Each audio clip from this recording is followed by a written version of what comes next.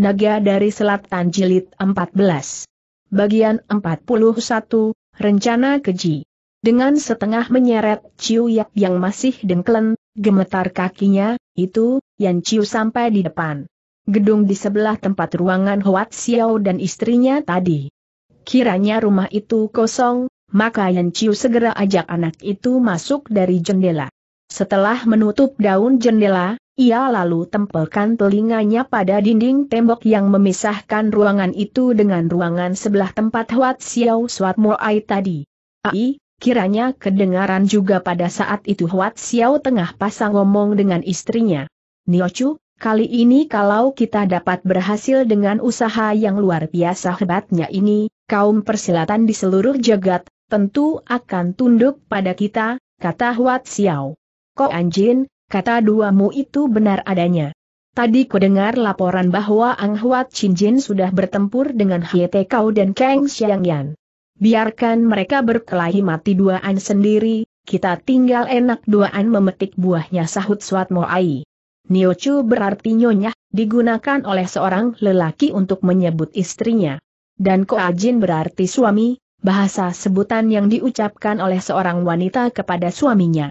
Niochu, belum dua jangan banyak bicara dulu, kita harus menjaga telinga di ruangan sebelah ini kata Huat Xiao. Yan Chiu seperti dipagut tular, tapi pada lain saat ia dapat berlaku tenang lagi.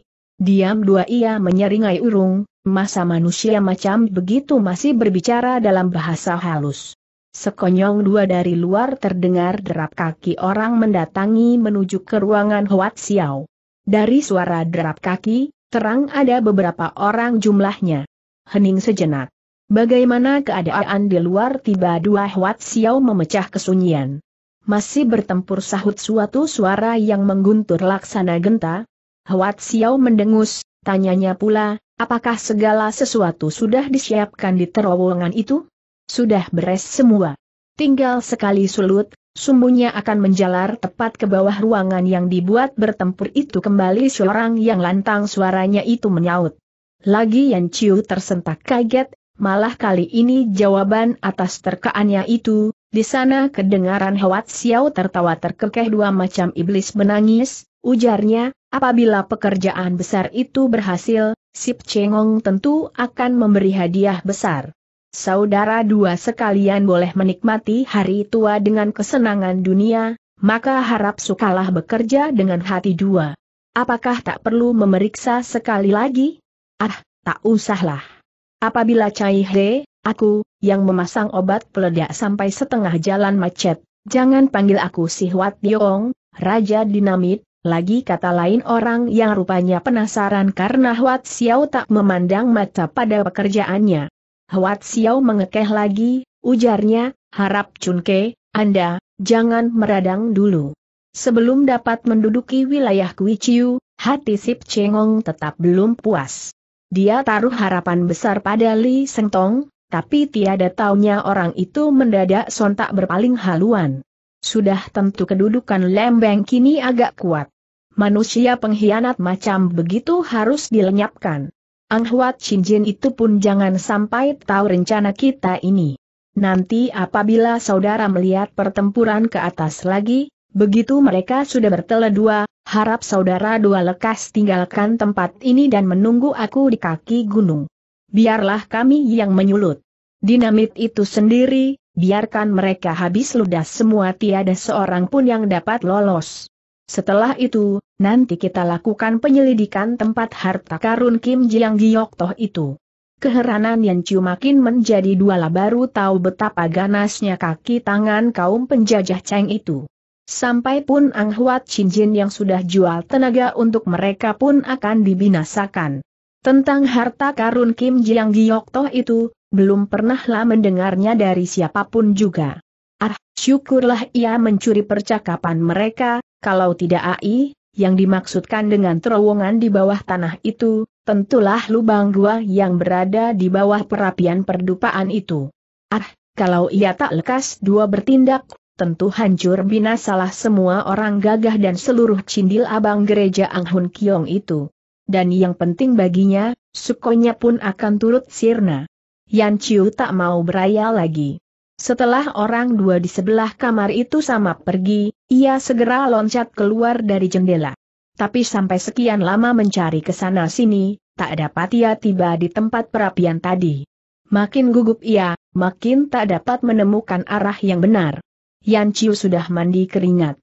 Akhirnya diputuskan untuk mencari seseorang guna menanyakan jalan. Tengah ia mencari dua orang, tiba dua di sebelah muka sana ada tiga sosok tubuh kecil, aha, kiranya mereka bertiga adalah Kuan Hong, Wan Guat dan Chiu Yap. Wajah ketiga anak itu cemas sekali tampaknya dan baru agak lega ketika melihat Yan Chiu. Cici, kita tak dapat lolos seru mereka. SST, jangan kesusu pergi dulu, sahut Yan Chiu dengan berbisik, kita masih mempunyai suatu tugas yang maha penting. Di manakah letak mulut jalanan di bawah tanah itu? Apakah jalanan itu dapat menembus sampai di bawah ruangan pertempuran itu?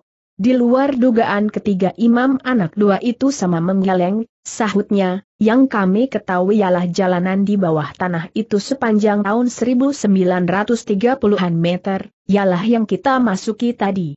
Adakah jalanan itu bisa tembus sampai di bawah ruangan pertempuran? Kami tak mengetahuinya. Tiada lain jalan kecuali Yan Chiu ajak ketiga anak itu untuk masuk ke dalam jalanan terowongan di bawah perapian perdupaan tadi. Kiranya di situ kedua imam tadi masih mendelik tiada berkutik. Tapi ketika Yan Chiu hendak masuk ke dalam lubang terowongan, tiba dua dari balik hiolo, tempat perdupaan, itu berkelebat dua sosok bayangan. Masing dua terus menyerang dengan golok. Kura dua yang bernyali besar, berani melepaskan tawanan penting mereka mendamprat. Karena tak bersiaga hampir saja Yan Chiu termakan golok. Untung Kuan Hang dan Wan Guat cepat menarik kedua kaki Yan Chiu untuk ditariknya keluar. Kiranya kedua penyerangnya itu adalah dua tosu penjaga. Ketika tiba gilirannya untuk menjaga, dilihatnya kedua kawannya sudah tak berkutik lagi dan tempat perapian dupa itu berkisar terbuka. Mereka menyusup masuk dan dapatkan kedua tawanan Kuan Hang dan Wan Guat sudah lenyap. Buru dua mereka naik ke atas dan justru berpapasan pada Yan Chiu yang tengah hendak menyusup turun. Walaupun kakinya ditarik ke atas, tapi kepalanya masih belum sempat keluar. Ketika golok, kedua tosu itu melayang Yan Chiu segera gunakan ilmu Gong Chiu Toh Pehjing, dengan tangan kosong merampas senjata, ajaran Tai Siang Su. Tempo diadu dengan Tegau, ia berhasil merampas pedang Kuan Wikiam dari tangan anak muda. Itu, karena mengandal ilmu tersebut. Itu saja si Cian Bin Long Kun Tegau, apalagi hanya kedua Tosu saja. Sekali gerak, dapatlah ia menyambar golok mereka dan begitu menariknya, golok sudah terpental jatuh. Ketika ia susuli mendorong, kedua Tosu itu lantas menggelepar jatuh mencium tanah. Kuan Hang dan Wan Guat buru dua menubruknya dan menutup jalan darah pelemas mereka lalu diseretnya keluar.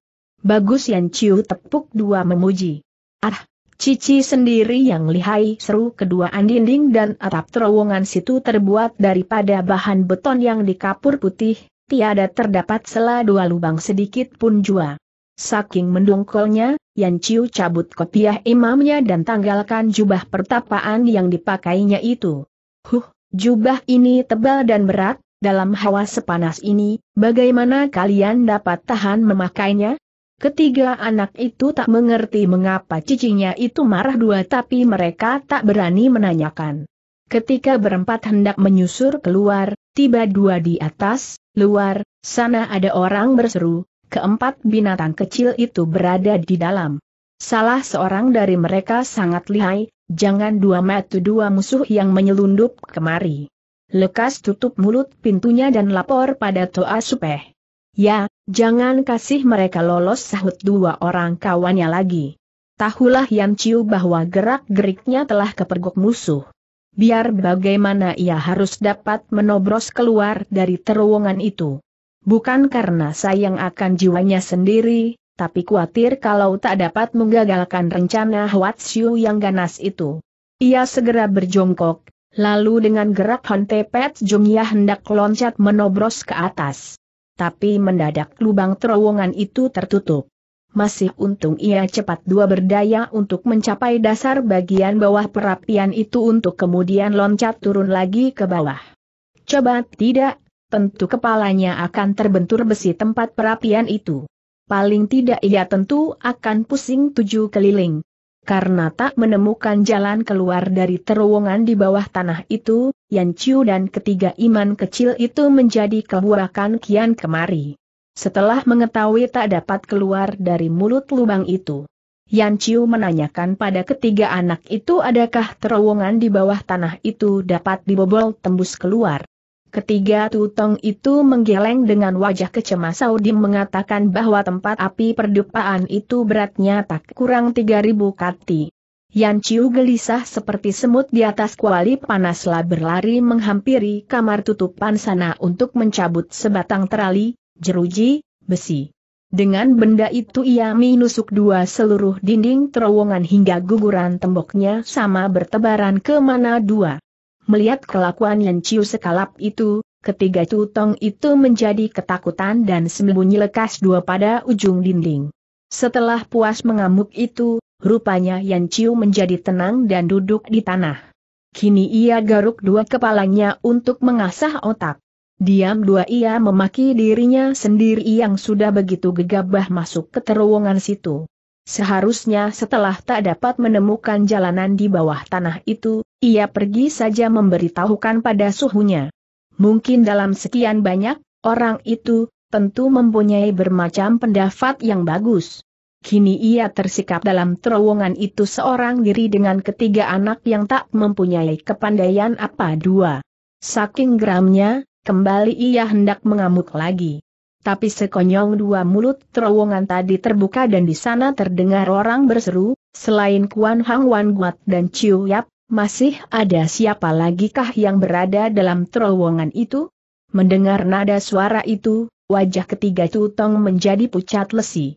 Cici, itulah Toa Supeh, habis sudah riwayat kita seru mereka bertiga dengan penuh kecemasan. Yang dimaksudkan dengan Toa Supeh itu bukan lain adalah Chiang Tai Bing, itu Toamo, iblis pertama, dari kawanan Sumo, empat iblis, gereja Anghun Kiong. Tak yakin Yan Chiu, adakah ia sanggup menghadapi Tai Bing itu? Hanya ia berharap agar Tai Bing itu masuk seorang diri. Dengan tenaga empat orang, mungkin juga ia dapat mengatasi Toamo itu. Maka ia memberi isyarat tangan agar ketiga tutong itu jangan membuka suara. Yang satu itu merupakan wajah baru, yang asing, umurnya masih muda, mungkin dia orang baru dari gereja ini kedengaran ada orang berkata, di sebelah atas sana. Ngaco. Sudah lebih dari setahun ini kita tak mendatangkan orang baru, mana bisa terdapat wajah asing di sini bentak Ciang Taibing. Jangan dua Wat Xiao yang membawanya orang itu masih membantah. Dia hanya membawa 18 orang jagoan kelas 1 dari pemerintah Cheng, yaitu pasukan berani matinya Tolkun sendiri. Mana bisa ada yang berumur muda?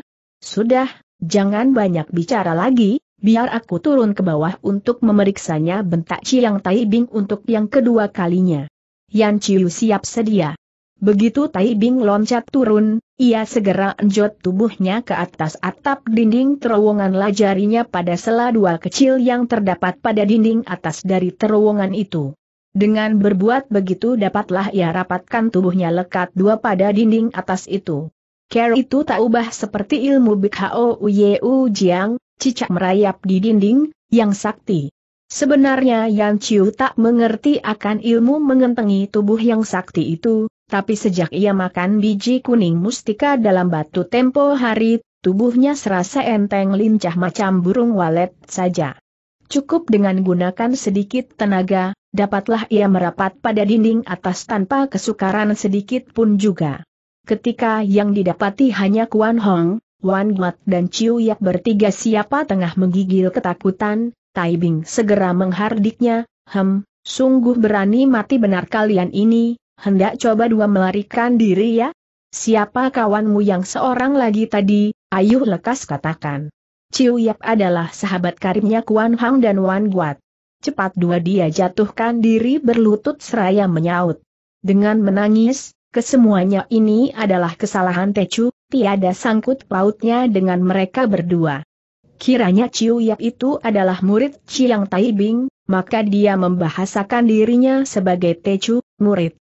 Mengingat hubungan antara guru dan murid, ia harap suhunya itu akan menaruh belas kasihan. Tapi kali ini ternyata Ciang Taibing marah benar dua.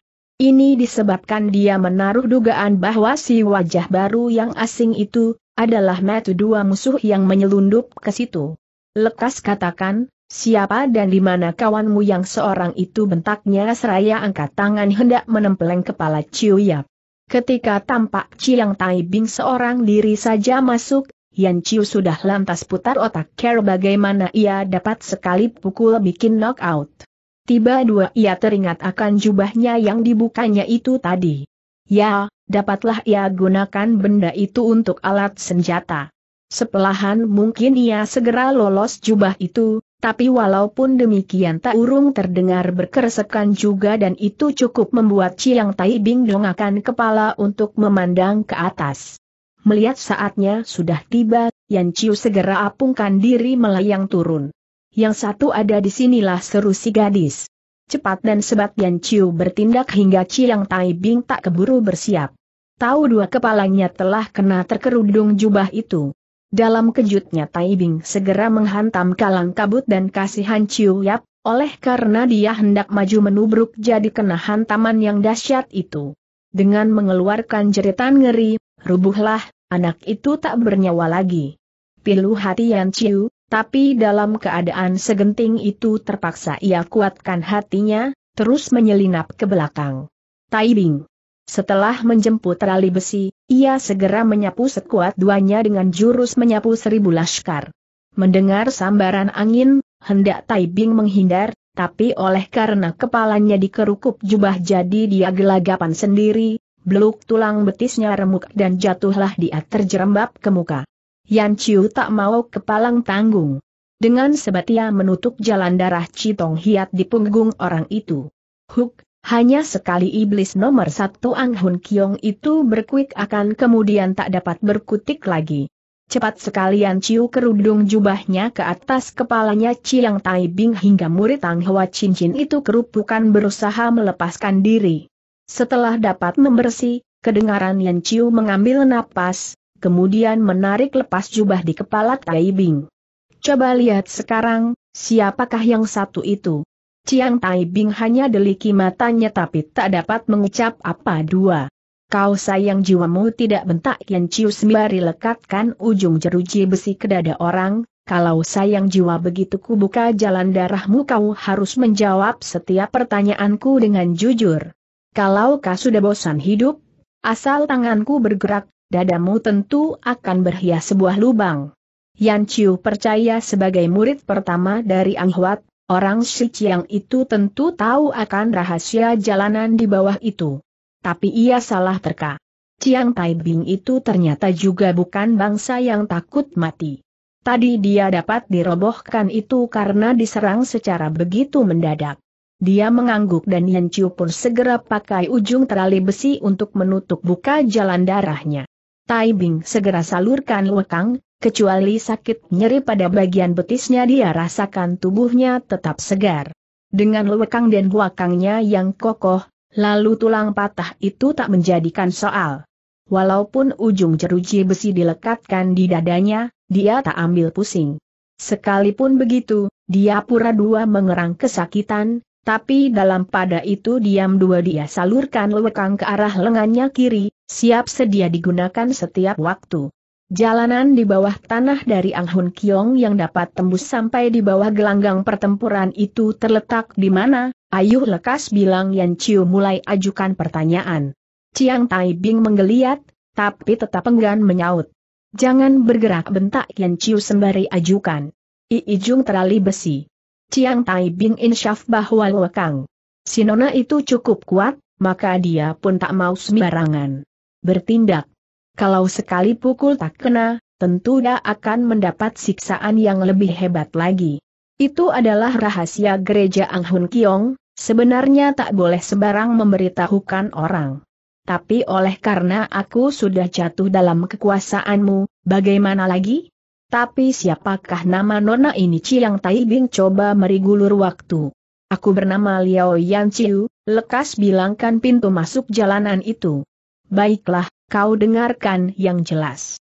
Keluar dari sini, langsung melewati tiga buah ruangan, biluk ke kiri, biluk ke kanan lagi, dari situ memiluk ke kanan lagi, lalu mundur ke belakang, lalu berputar ke barat. Sengaja dia mengatakan dengan cepat, tapi Yan Chiu mengira kalau karena ketakutan dia sudah mengatakan dengan sebenarnya, maka didengarkannya lah dengan penuh perhatian. Mulutnya tak henti duanya mengulang kata dua yang diucapkan Tai Bing itu. Makin lama Tai Bing makin cepatkan keterangannya dan buyarlah perhatian Yan Chiu terpikat ke situ. Merasa saatnya sudah tiba, Ciang Tai Bing segera bertindak. Sekonyong dua tangannya kiri mendorong terali besi lalu tangannya kanan membarengi dengan hantaman ke dada Sindona. Ciang Tai Bing telah gunakan seluruh sisa kekuatannya, cepat dan sebat. Ketika Yan Chiu tersadar, ia sudah tak keburu lagi untuk menghindar. Dalam gugupnya, dia gerakan tangannya yang mencekal terali besi tadi untuk menghalau. Benar separuh bagian dapat dibuyarkan tapi yang separuh lagi tetap bersarang ke dadanya.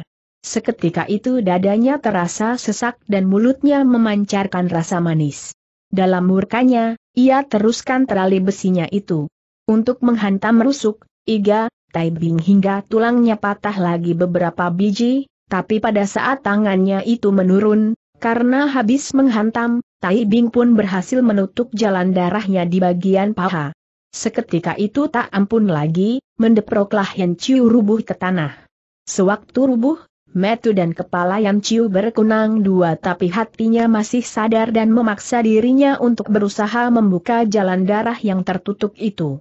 Pikirannya hanya satu harus lekas dua mendapatkan jalanan di bawah tanah itu, atau kalau terlambat, habislah seluruh isi penghuni Ang Hun Kiong. Chiang Tai Bing adalah murid kepala dari Ang Hwa Chin Jin, seorang ahli tutuk besar di dunia persilatan. Tututkannya tadi menggunakan Chiong Chiu Huat, tutukan berat, yaitu tutukan jalan darah melalui tulang. Lewat sekian saat, Yan Chiu baru dapat tersadar, namun serongga dadanya terasa sesak sakit sekal. Ketika menoleh ke arah Tai Bing didapatinya orang itu lebih payah lagi lukanya. Mukanya pucat seperti kertas, napasnya memburu. Kuan Hang dan Wan Guat menelungkupi, mayat Chiu Yak dan menangis terseduh sedan. Yan Chiu tak dapat berbuat apa dua karena tak berkutik. Marah dan gelisah merangsang benaknya dan ketika hawa perasaannya itu naik ke atas kepala, matanya serasa gelap dan pingsanlah ia tak sadarkan diri. Sekarang mari kita tengok keadaan di ruang pertempuran itu. Pertempuran makin menghebat dan ganas. Melihat, dengan ilmu pedang Hon Keng Tiam Hua tak memberi hasil, Kang Xiang Yan segera berganti dengan ilmu Tai Im Lian Seng. Begitu menjungkir putarkan tangkai pedang.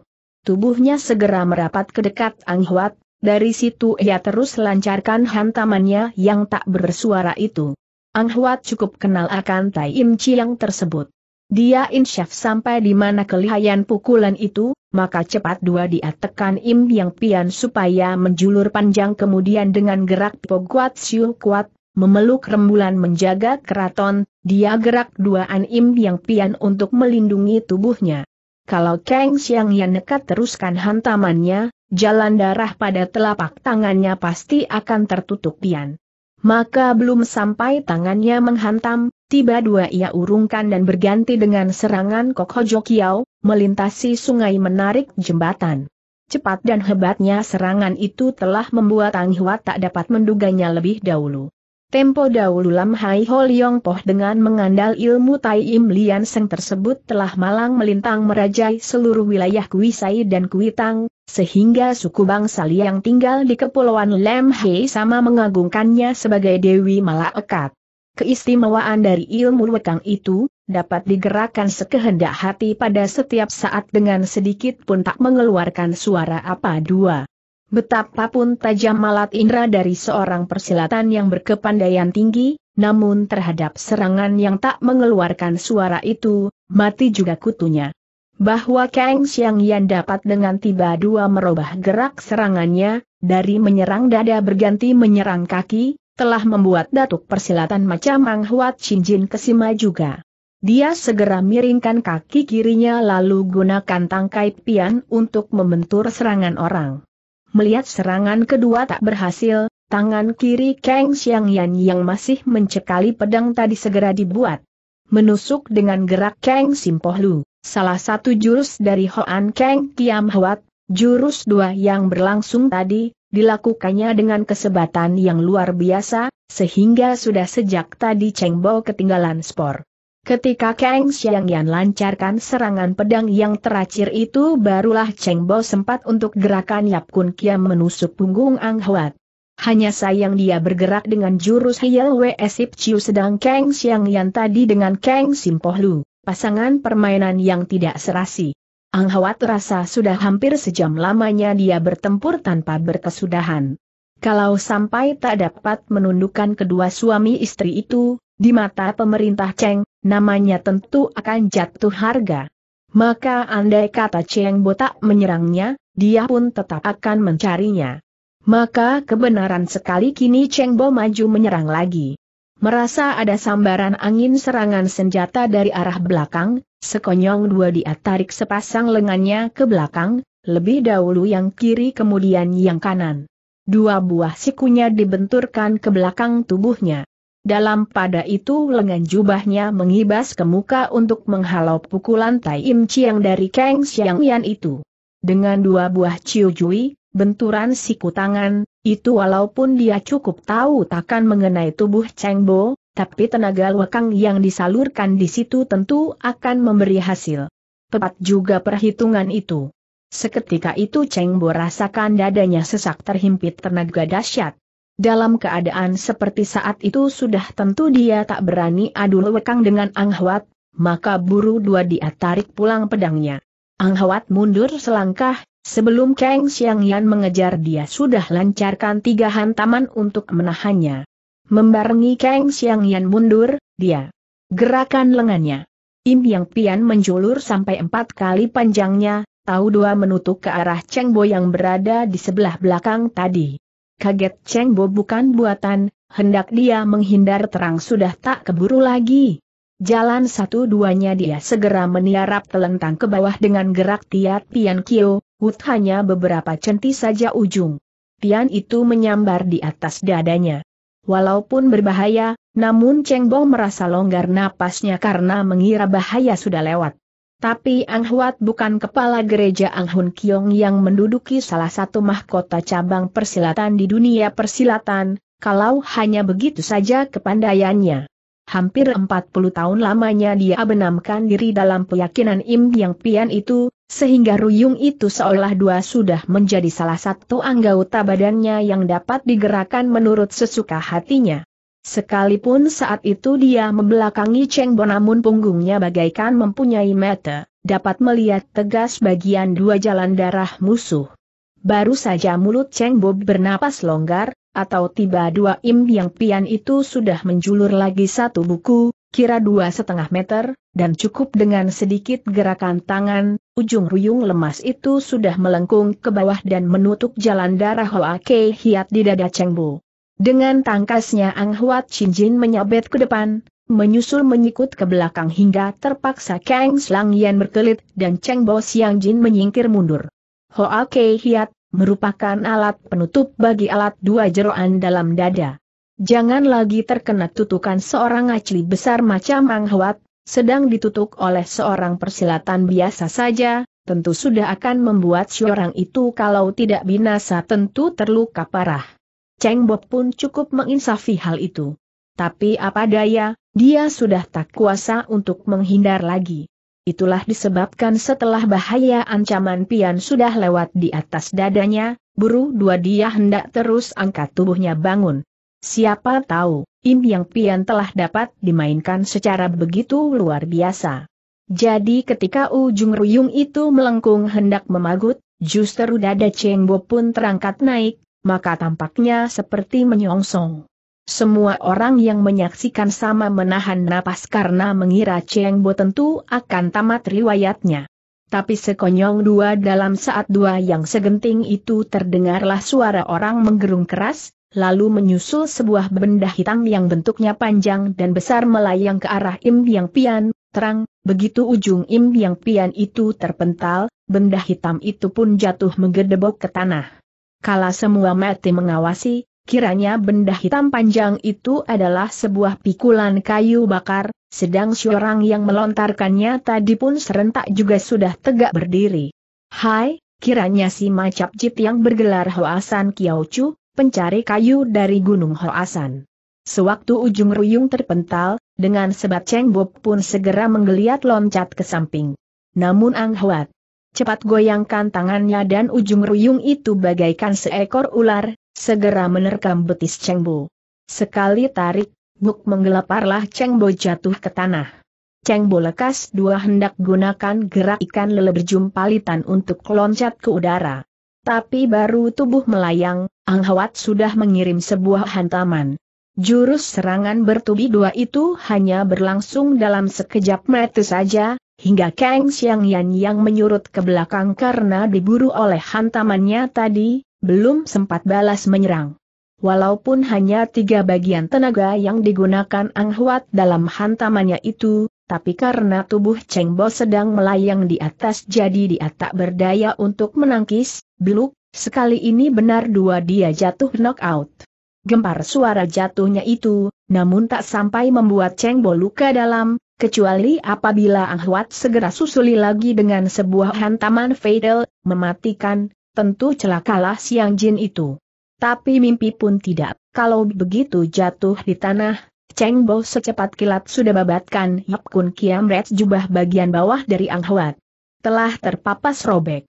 Sayang karena terlambat sedikit, ujung Yap Kun Kiam itu tak berhasil mengenai daging kaki lawan. Sekalipun begitu, hal itu cukup membuat Ang Hoat gelusar sekali.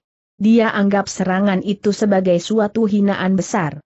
Dan pandangannya akan arti pertempuran itu makin nyata kau atau aku yang binasa. Sedang di pihak Cheng Bo pun tak kurang beringasnya, tahu dirinya terancam, setelah membabat tadi terus susuli lagi dengan serangan kedua. Tepat sesaat itu, Kang Xiangyan pun sudah mengirim serangan membalas. Ang Hawat mengaum keras. Im Yang Pian tiba dua menyurut lagi hingga tinggal setengah meter panjangnya, untuk menyongsong pedang Kang Xiangyan itu. Bahwa pedang Kuan Wikiam milik wanita gagah itu adalah pedang pusaka yang dapat memapas segala macam logam, diketahui juga oleh Ang Hwat. Tapi Care, tangkisannya tadi, memang tepat sekali, tering, ujung ruyung itu persis menutup bilah pedang itu. Dan dalam pada itu, sempat pula dia melancarkan hantaman ke arah Chengbo. Kala itu Chengbo tengah merangsang maju menyerang, jadi sukarlah kiranya untuk menghindar, krek, lengan bahunya sebelah kanan terasa sakit sekali dan otomatis terkulai ke bawah sampai pun jarinya tak kuasa lagi untuk mencekal Yap Kun Kiam, tering, jatuhlah pedang pusaka itu ke tanah. Melihat itu Kui Ing Chu segera enjot kakinya melayang ke muka. Sedang di pihak sana Sumo Im Tian Kui dan Sam Molong Teksan juga menobros maju, menyambut Kui Ing Chu. Dalam sekejap saja, ketiganya sudah saling berhantam. Digo yang sedari tadi mengawasi jalannya pertempuran itu dengan seksama, segera tak mau mensia-duakan kesempatan sebagus itu. Sekali tangan menekan meja, tubuhnya melayang ke muka dan tangannya segera hendak menjemput Yap Kun Kiam. Tapi berbareng pada saat itu, Macap Jit pun tampil ke gelanggang untuk menjemput pikulannya. Sekali ayunkan pikulannya, bluk. Terpelantinglah Degon mencium tanah. Memang lihai sekali ilmu permainan pikulan dari si pencari kayu Hoasan Macap Jit itu. Kalau si Degong meringis berkenalan dengan lantai, adalah Yap Kun Kiam sudah berada di tangan Macap Jit. Digo sapukan pandangan matanya ke seluruh gelanggang. Di sana Kui Ing Chu masih bertempur rapat dengan Im Tian Kui dan Long Teksan, tapi sebelah pipi dari orang Shilong itu sudah begap matang biru. Rupanya dia sudah terima hadiah dari Kui Ing Chu. Keng Xiang Yan dan Ang Huat tertegun berhenti bertempur. Sedang rombongan. Cheng Bo sudah sama serempak bangkit, terang, tering, Di sana-sini terdengar suara gemeroncang gemerincing dari senjata dilolos. Untuk melawan Macap Jit, terus terang saja, dia sudah tobat tujuh turunan kalau disuruh mencium tanah lagi. Jalan satu-duanya ialah lekas dua mengundang supaya Wat Xiao dan Swat Moai serta ke-18 jagoan itu, keluar membantu. Baru dia hendak bertindak, atau dari tengah ruangan besar sana muncul beberapa belas orang. Walaupun dandanan mereka seperti imam dari Anghun Kiong situ, tapi Matun Dego yang celi segera mengetahui bahwa mereka itu bukan lain adalah rombongan jagoan yang di bawah Wat Xiao. Begitu muncul di situ, mereka lalu sama duduk di pinggir gelanggang. Buru dua Dego menghampirinya. Ah, lihat Wi sudah datang, tentu hendak membantu kami liwat dan suat kedua Ciampu itu di mana ujarnya. Seorang bertubuh kurus jangkung yang rupanya menjadi kepala rombongan, segera menyahut dengan garang, Ai, takut apa? Satu lawan satu atau secara keroyokan. Sama saja. Langit sudah akan roboh, siapa yang dapat menyelamatkan diri? Mengapa terburu dua begitu macam? Digong mendapat hidung panjang. Kalau pada hari dua biasa, dia tentu sudah marah. Tapi dikarenakan dia memerlukan tenaga mereka, jadi terpaksa ditelannya saja amarahnya itu. Ah, Memang, memang serunya ikut duaan tertawa. Hidung si kurus itu mendengus selaku jawaban, lalu alih pandangannya ke arah gelanggang. Ya, memang ke-18 jagoan itu sedang melakukan perintah Wat Xiao untuk melihat jalannya pertempuran. Apabila sudah tiba saatnya, mereka disuruh lekas dua memberitahukan kepada Wat Xiao agar dapat menyulut sumbu dinamit. Bagian 42, Pahit Tempedu pada saat itu Cheng Bo sudah dipapah kotai untuk kembali ke tempat duduknya. Lengannya kanan telah dipatahkan oleh hantaman Ang Huat. Betapapun lihainya, tetap dia tak kuat menahan rasa sakitnya. Kepalanya basah kuyut dengan keringat. Tio Jiang sibuk tak keruan tak tahu apa yang hendak diperbuat. Rasanya ia rela menggantikan luka suhunya itu.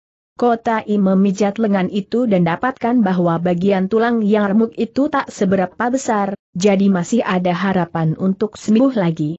Dia suruh Tio yang cabut dua batang terali, jeruji, lankan dan sepotong kayu papan.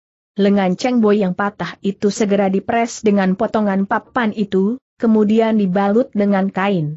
Cheng Bo tahankan sakitnya, Sepatah pun tak mengerang matanya memandang ke arah 18 orang yang baru datang itu. Di antara sekian banyak jagoan itu, hanya seorang yang dikenalnya sebagai orang kelahiran Kuitang yang pernah belajar silat di Gunung Go Taisan. Orang itu mahir sekali dalam ilmu senjata rahasia. Setelah habis pelajarannya, dia segera menganas di daerah Kuiciu, tapi kena dikalahkannya. Sejak itu tak pernah dia bersuah dengan orang itu lagi.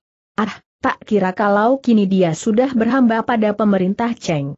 Orang yang dikenalnya, itu bernama Pui Hoan berjejuluk Boan Tian Che, bintang bertaburan di langit. Saat itu pun tengah memandang Cheng Bo dengan sorot mati menggagah, menantang. Rupanya dia belum lupa akan peristiwa 10 tahun yang lampau itu lain dua yang ke-17 orang itu sama bertubuh kekar garang. Lebih dua seorang jangkung kurus yang duduk di muka sendiri itu. Pelipisnya agak menonjol, air mukanya aneh entah dari cabang persilatan mana dia itu. Sekonyong dua terdengarlah suara jeritan mengaduh dan sesosok tubuh gemuk terbang melayang. Aha, kiranya itulah tubuh Long Texan yang kena disengkelit kemudian ditendang oleh Kui Chu. Dalam waktu dan tempat seperti itu, tetap Kui Ing Chu tak lupa akan kenakalannya. Ketika tubuh Long Texan tadi melayang di atas ke-18 orang jagoan itu, Kui Ing Chu segera gerakan dua buah serangan kosong dan entah bagaimana caranya tubuh Long Texan berhenti dengan tiba dua, lalu jatuh menimpa ke bawah. Tahu dua sumolong Teksan telah mencelat kena disengkelit Kui Ing Chu terus melayang ke tempat duduk ke-18 jagoan yang dibawa datang oleh Wat Xiao dan Swat Muai itu. Sahabat Long, berdirilah yang jejak serentak berbangkitlah si kurus jangkung tadi seraya menyanggapi tubuh Long Teksan. merah padam selebar muka Long Teksan yang lalu mengambil tempat duduk. Melihat sukonya tak berani maju lagi, Im Tian Kuit pun lalu putar tubuhnya hendak angkat kaki seribu. Tapi, Kui Ing Chu rupanya pun tak mau mengejarnya, malah hanya berteriak dua menyuruhnya lekas lari. Lari kencang, ayuh lekas lari yang kencang serunya. Im Tian Kui tak peduli setan belang apalagi. Dia benar dua lari sekencang duanya menurut anjuran musuhnya tadi. Melihat adegan lucu itu, ke-18 jagoan tersebut sama terbahak dua. Menandakan bahwa mereka tak memandang mata, lagi pada orang dua Ang Hun Kiong. Merahlah daun telinga The Go. Tapi ketika melirik ke arah Hang Huat didapatinya Seng Sucou itu masih menjublek diam di tengah gelanggang, berhadapan pandang dengan Kang Xiang Yan. Walaupun nampaknya kedua tokoh tersebut berdiam diri, tapi ternyata mereka itu tengah mengadu luakang dengan jalan saling lekatkan senjatanya masing dua. Ketika Im Yang Pian membentur pedang Kuan Wik Yam tadi, cepat dua anghawat salurkan luakangnya untuk menyampok jatuh senjata lawan. Tapi baru saja luakang anghawat menyalar ke arah Im Yang Pian, Xiang Dua Kang Xiang Yan mengerti maksud orang. Maka betapalah kejut Anghuat ketika didapatinya saluran lewekangnya itu telah mendapat reaksi hebat berupa sebuah dorongan lewekang yang kuat. Buru dua dia pun segera tancap gas penuh, mengerahkan seluruh lewekangnya. Sejak berhasil memahamkan ilmu lewekang Tai Im Lian Seng, belum pernah Kang Sing Yan berjumpa dengan musuh setangguh Anghuat ini. Memang karena urusan Yan Chiu, ia telah bentrok dengan Tai Siang Sian Su. Tapi karena paderi itu sudah tak memikirkan akan gengsi dan nama kosong, begitu Kort Sluiting, benturan aliran listrik, sebentar, paderi itu segera angkat kaki. Kini berhadapan dengan Anghwat lainlah halnya. Seluruh kebiasaannya telah ditumplak habis, maka walaupun di gelanggang situ terjadi hiruk pikuk tak keruan, kedua seteru itu tetap tulikan telinga butakan mata. Seluruh perhatian dan semangatnya ditujukan pada pergulatan seru itu. Gaya Kang Xiang Yan gemulai nampaknya, namun mengandung kekuatan baja yang kokoh.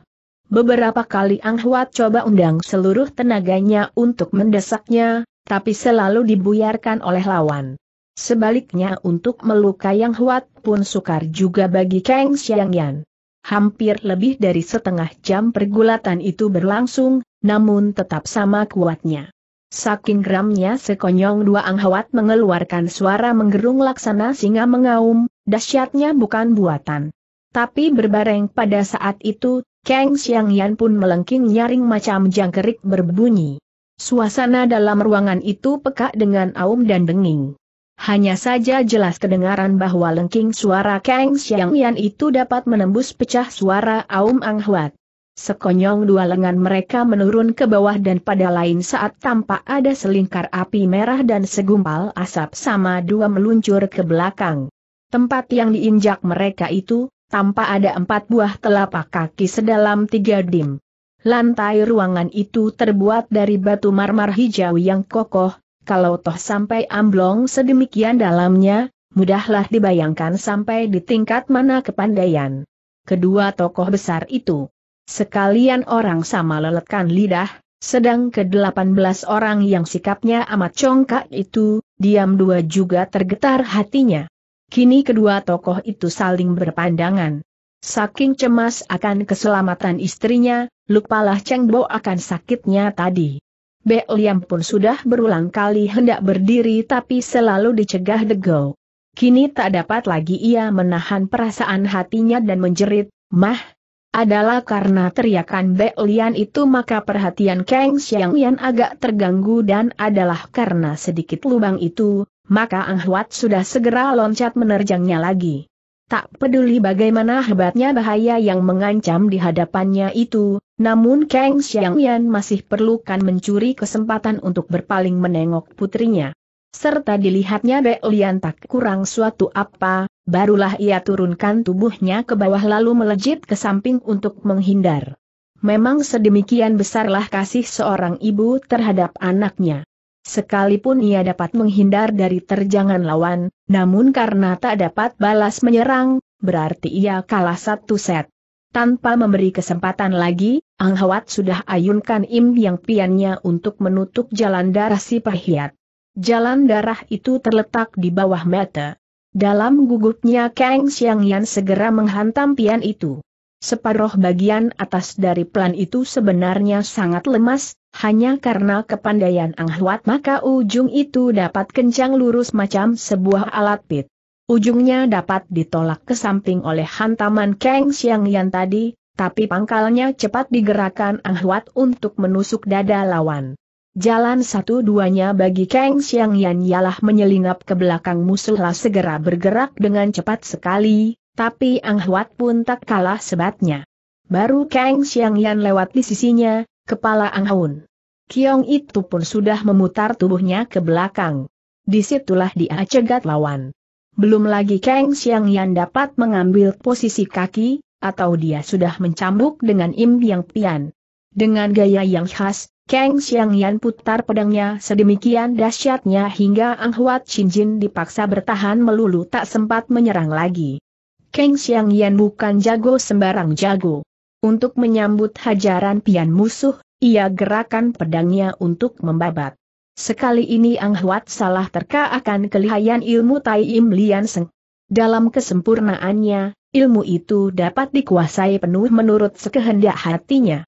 Biar Ang Huat lihai, tapi tetap dia tak dapat menyelamatkan Im yang piannya lagi. Tring. Kutunglah buku yang teratas dari pian itu terbabat Kuan Wikiam. Begitu ujungnya terpapas, maka berhamburanlah berpuluh dua jarum halus menyambar keluar. Entah berapa. Banyakkah batang dua jarum itu, tapi yang nyata saja sesaat itu terdengarlah bunyi macam nyamuk mendenging dua. Teranglah jarum dua itu keluar dari lubang pangkal Im yang pian tadi dan memangnya Im Yang Pian itu diperlengkapi dengan senjata rahasia jarum halus untuk menggempur para ahli lewekang yang menjadi lawannya. Jarum dua yang halus itu akan menyusup melalui jalan darah terus masuk ke jantung, betapa lihainya seorang ahli iwekang, namun menghadapi senjata yang sedemikian ganasnya itu, tak urung akan binasa juga jiwanya. Insyaf akan keganasan senjata itu, Kang Xiang Yan sampai kucurkan keringat dingin. Cepat dua putar pedangnya dengan gencar sembari berteriak dengan murkanya, Hai, Imam Siluman tua, tebal sekal kulit mukamu. Dalam kedudukan sebagai ketua sebuah cabang persilatan, memang tak selayaknya Anghuat gunakan senjata rahasia macam begitu. Ya, walaupun hal itu terjadi di luar kemauannya, tapi dengan memiliki senjata macam begitu saja itu sudah berarti mengunjuk mentalitas pribadinya yang ganas. Maka merah padamlah selebar muka kepala gereja Ang Hun Kiong seketika itu. Dari malu, dia menjadi marah. Tanpa menyahut sepatah pun, dia segera putar pian untuk menghajar. Demikianlah kedua tokoh itu kembali terlibat dalam pergumulan yang seru. Mendengar ibunya memaki imam siluman tua, Lian mengeluh dalam hati. Ke depannya, hubungannya dengan The Gold pastilah akan menemui kesukaran besar. Lian yang dibutakan oleh api asmara itu hanya memikirkan kepentingan diri sendiri. Engkoh Go, Mamah dan Sucou, telah bertempur sedemikian serunya, rasanya urusan kita tentu kapiran. Maka lebih baik sedangnya mereka tengah bertempur, kita tinggalkan tempat ini menuju ke salah sebuah pulau di Lemhei. Di sana kita, dapat menuntut penghidupan yang aman dan tenteram, ah, betapakah bahagianya bisiknya kepada Seng kekasih yang manja itu. Sewaktu melihat Sucounya terlibat dalam pertempuran yang sangat lama, hati Dego dicengkeram oleh kegelisahan. Atas pernyataan Beklian, tadi, dia hanya mendengus hem, selaku jawaban. Tapi tiba-dua terkilas dalam benaknya suatu rencana yang jahat. Tadi sewaktu Be, Lian meneriaki ibunya, Kang Xiang Yan segera terdesak di bawah angin oleh suconya. Ah, mengapa dia tak suruh Bek Lian mencobanya lagi? Tapi kali ini jangan sampai keblinger gagal lagi. Otaknya bekerja. Dibayangkannya, kalau Kang Xiang Yan kalah, rombongan Cheng Bo tentu dapat diatasi. Dengan begitu terbukalah kesempatan baginya menggabungkan diri pada rombongan Hoat Xiao, untuk menghadap Sip Chengong Tolkun. dengan memiliki kepandaian bun dan bu, sastra dan ilmu silat, masa kantol kun takkan memandang matu kepadanya. Misalnya saja, kalau dia tuturkan bagaimana dahulu dengan menuruti usul rencananya, Degau, dapatlah Li Sengtong menduduki daerah Kuichiu, tentu dia akan mendapat pujian tinggi dari Menteri Cheng itu.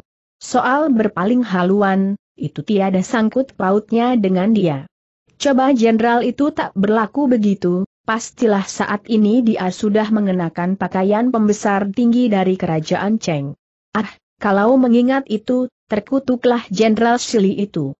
Terkilas pula dalam lubuk kenangannya, bagaimana dengan tindakannya secara radikal, ganas dan setempo melewati garis dua peri kemanusiaan dahulu itu, telah dapat mengangkatnya ke tempat kedudukan yang tinggi, dekat dengan orang besar, maka mengapa sekarang tidak? Bukankah ujar dua kuno mengatakan kalau tidak ganas itu bukan seorang lelaki jika dia tak berlaku begitu, Bagaimana dia dapat melaksanakan pekerjaan besar dan mencapal kedudukan tinggi?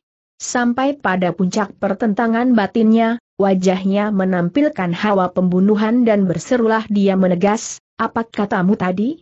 Mendengar penyahutan sedemikian kerasnya itu, Lian terkesiap. Tapi api asmara yang telah membakar seluruh hati sanubarinya itu telah membuatnya buta, buta hati, buta mata buta malu, ya pendek kata lupa segala duanya. Tanpa malu didengar orang lagi, ia segera mengulangi kata duanya tadi. Wajah Degau mengerut kening dan mulutnya mendengus deham-hem, diiringkan dengan seringai tawa kejam, melengkinglah mulutnya, perempuan hina, siapa yang kesudian bersenang dua hidup bersama kau? Lian tak percaya akan alat pendengarannya. Wajahnya berubah seketika. Engkoh go, apa katamu itu ia menegas. Kembali Go tertawa iblis, serunya, belum pernah ada seorang gadis mengejar dua seorang lelaki macam kau ini. Suaranya sengaja diucapkan dengan keras hingga sekalian orang di ruangan situ sama mendengarnya. Kini semua mata ditujukan kepada kedua orang muda itu. Engkoh Go, kau ini bagaimana? Apakah kau tidak Cinta padaku seru Lian dengan terbata dua. Digo tertawa gelak dua, sahutnya, apakah kau tetap bertebal kulit? Saat itu Tio Jiang sudah dapat meraba apa yang telah dipertengkarkan Seng Suci dengan kekasihnya itu. Darahnya serasa berhenti berdenyut ketika hawa kemarahannya menguap naik. Apa katamu, engkoh Go Lian menegas karena nista The Go itu. Mendadak gumpulan darah menyembur keluar dari mulutnya. Degau, kau ini bangsat teriaknya memaki. Dia tak pandai bermain lidah, jadi hanya begitu saja caranya memaki. Makian pertama meluncur, dia pun sudah tak dapat melanjutkan lagi makian berikutnya. Xiaoko, apakah kau tahu artinya kata bangsat itu? Bukalah telingamu lebar. Seorang lelaki yang galang-galung dengan wanita dua yang tak tahu malu itu pasti akan ternoda namanya. Itulah dia yang pantas disebut bangsat. Saking berkobarnya api kemarahan dalam hatinya, dengan terhuyung dua bangkitlah Lian dari kursinya. Dengan jari yang menggigil gemetaran, ia menuding Go, mulutnya komat kamit tapi sampai sekian lama tak dapat melancarkan kata dua. Setelah sekian saat bibirnya bergemeretukan, akhirnya dapatlah ia mengucap dengan nada terputus dua, kau, kau, sampai pun anak yang kukandung ini juga tak mau tahu lagi? Lian telah dijelmakan sebagai seorang gadis jelita yang dapat membuat sirik hati para bidadari. Sejak kecilnya, dimanjakan dengan kasih sayang Seng Ayah adalah karena sekali salah pilih menyintai seorang manusia berhati serigala macam pemuda tampan degau, akhirnya ia harus mengalami derita siksaan batin yang sedemikian mengenaskan itu. Sampai dua rahasia yang sebenarnya tak pantas dikeluarkan itu, terdengar juga oleh sekian banyak orang. Ia telah memetik buah yang ditanamnya sendiri. Wajah Cheng Bo pucat lesi, sedang tangan Tio Jiang menggigil gemetar. Digo tak kepalang tanggung. Kembali dia tertawa sinis serunya, Nona B, kau dan aku baru saja setengah tahunan berjumpa, tapi perutmu sudah sedemikian besarnya, anak itu, ha, ha. Dari ucapan itu jelaslah kiranya bahwa The Go tak mengakui kandungan Bek Lian sebagai anaknya. Atau lebih tegas lagi, dia menganggap Bek Lian itu serupa dengan wanita lacur. Kalau Acli pemikir menelurkan teori bahwa dunia ini berputar, mungkin orang masih belum 100% mempercayainya karena orang tak merasakan perputaran bumi itu. Tapi bagi Bek Lian hal itu memang suatu kenyataan. Bumi yang dipijaknya serasa berputari, alam di kelilingnya gelap gelita dan huak segumpal darah. Menyembur dari mulutnya dan orangnya pun lalu terhuyung. Jatuh menelungkupi meja, wur, wur, tak henti duanya mulutnya menyembur darah segar. Apa yang dipercakapkan oleh Lian dan Tego tadi, terdengar juga oleh Kang Slang Yan. Tapi karena dia tengah bertempur mati duaan dengan Ang Huat, ia tak dapat berbuat apa dua hanya dalam batinnya ia menetapkan keputusan, bahwa setelah selesai pertempuran itu ia tentu akan mirobek dua tulang belulang pemuda itu. Tapi Bek Lian terus-menerus muntah darah, ia tak dapat berdiam diri saja.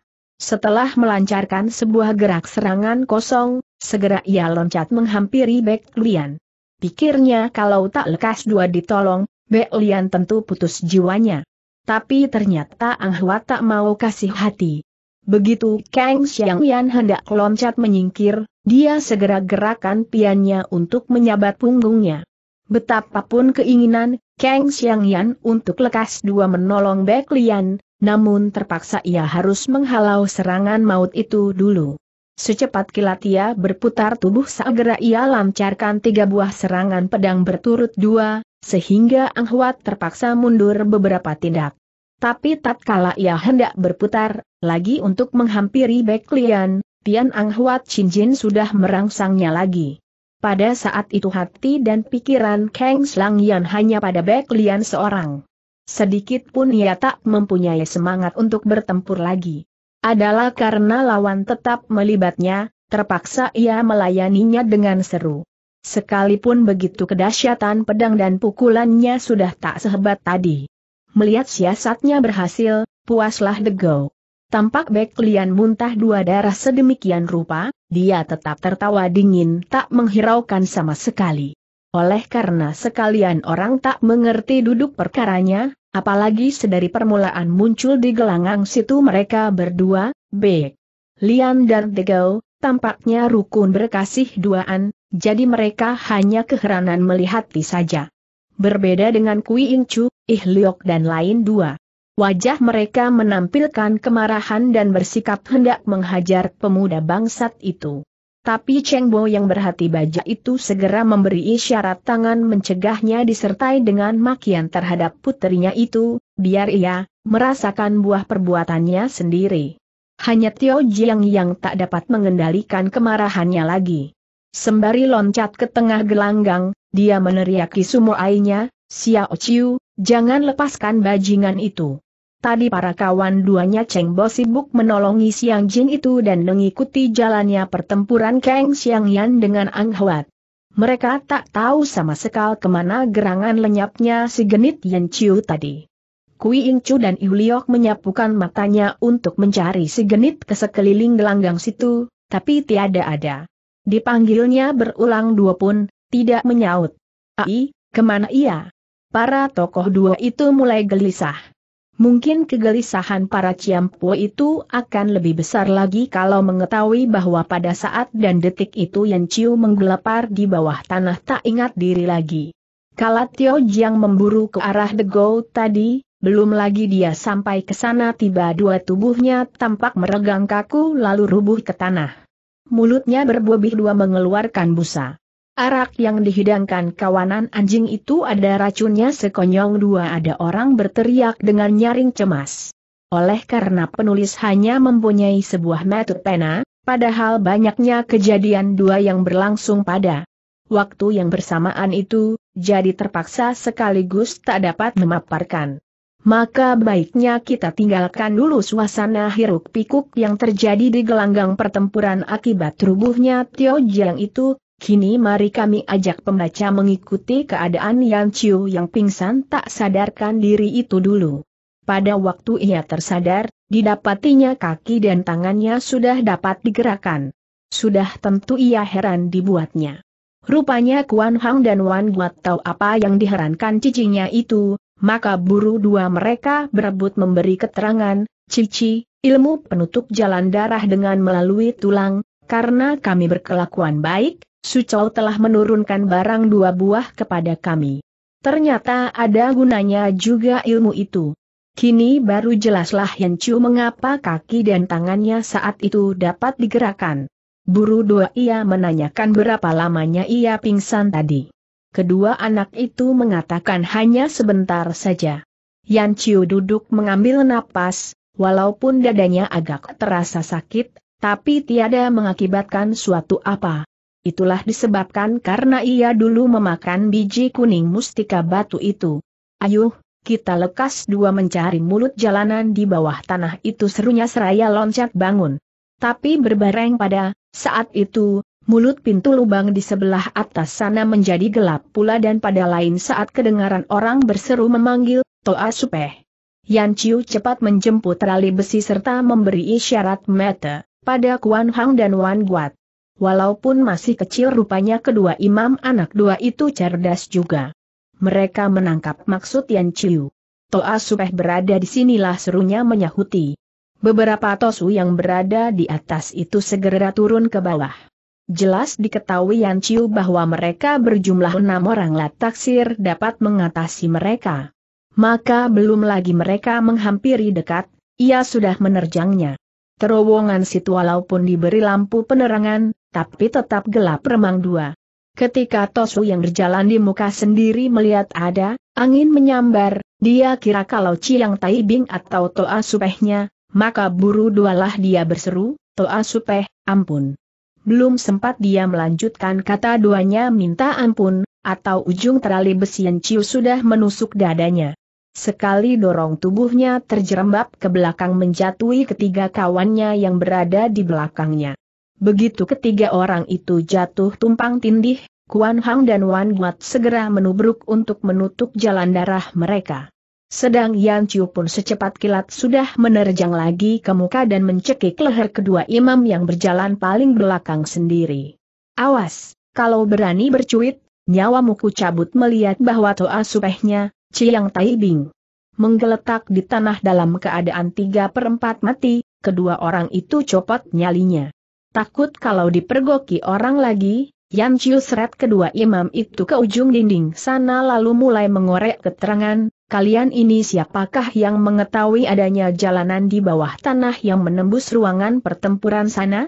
Ayuh, katakan yang benar, supaya badanmu tetap bernyawa. Salah seorang dari kedua imam itu yang janggutnya sudah mulai putih, segera menyahut dengan terbata dua, sejak sepuluh tahun lamanya Xiao Tu, aku, menjadi tosu di Anghun Kiong sini, belum pernah mendengar akan hal itu. Sedang kawannya yang seorang menyatakan bahwa kecuali terowongan di situ itu, tiada lain jalanan di bawah tanah lagi. Saking gelisahnya, Yan Chiu banting dua kaki lalu benturkan kepala kedua imam itu ke dinding, hingga pingsanlah mereka. Kalau benar jalanan itu tidak ada, di manakah mereka memasang dinamit itu Yan Chiu bersungut seorang diri seraya menghela napas tapi baru ia mengucapkan kata dua itu, atau Kuan Hang dan Wan Guat segera berebut menanyakan, Cici, apa yang kau katakan tadi? Ah, kau anak kecil tahu apa seru Yan Ciu dengan uring duaan. Memang lain dua hal aku tak tahu, tapi apa itu yang kau sebut dinamit pernah aku mendengarnya, bantah Kuan Hang dengan jebikan bibirnya. Girang Yan Ciu tak terkata. Semangatnya segar lagi. Ia menduga tentulah kedua tutong itu menjadi murid kesayangan Ang Huat siapa tahu mungkin mereka mengetahui rahasia itu. Tapi pada lain saat, ia geleng duakan kepala. Bukankah, kedua anak itu beberapa hari lamanya digantung di bawah tanah, bagaimana mereka tahu akan hal itu? Maka Yan Ciu pun tak mau bertanya lagi. Cici, mengapa kau tak menanyakan lagi Kuan Hang menegurnya dengan sibuk?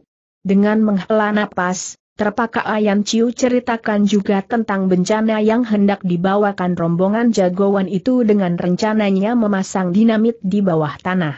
Mendengar itu kedua anak itu saling berpandangan. Cici, bukankah orang yang memasang dinamit itu seorang yang bertubuh gemuk Kate? Entahlah sahut Tian Chiu. Tapi pada lain saat ia memperoleh pikiran baru dan menyusuli pertanyaan, apakah kalian mengetahuinya?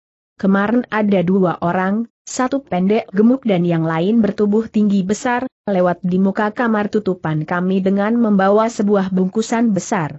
Entah apa yang dipercakapkan waktu itu, hanya antara lain mereka mengatakan sekali meledak pasti akan habis seluruhnya. Kami berdua pun tak menaruh perhatian. Lewat sekian lama baru kelihatan mereka lalu lagi di kamar situ, tapi sudah tak membawa bungkusan lagi. Hai, kiranya terowongan itu masih ada tembusannya lagi? Ayuh kita lekas dua mencarinya seru Yan Ciu kegirangan. Tapi sampai sekian saat, merabah ke sini mengorek ke sana, tetap tak memperoleh apa dua. Terowongan di bawah tanah itu tetap merupakan sebuah lorong sepanjang delapan tombak. Kalau menurut keterangan Kuan Hong, kedua orang itu kemarin lalu di muka kamar tahanan, jadi nyata kalau mulut jalanan rahasia tentu berada di ujung lorong terowongan itu.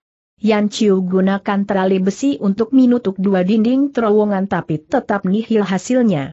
Saking gemasnya Yan Chiu banting terali besi itu ke bawah, tering. Hai, kiranya mulut jalanan rahasia itu berada di bawah lantai.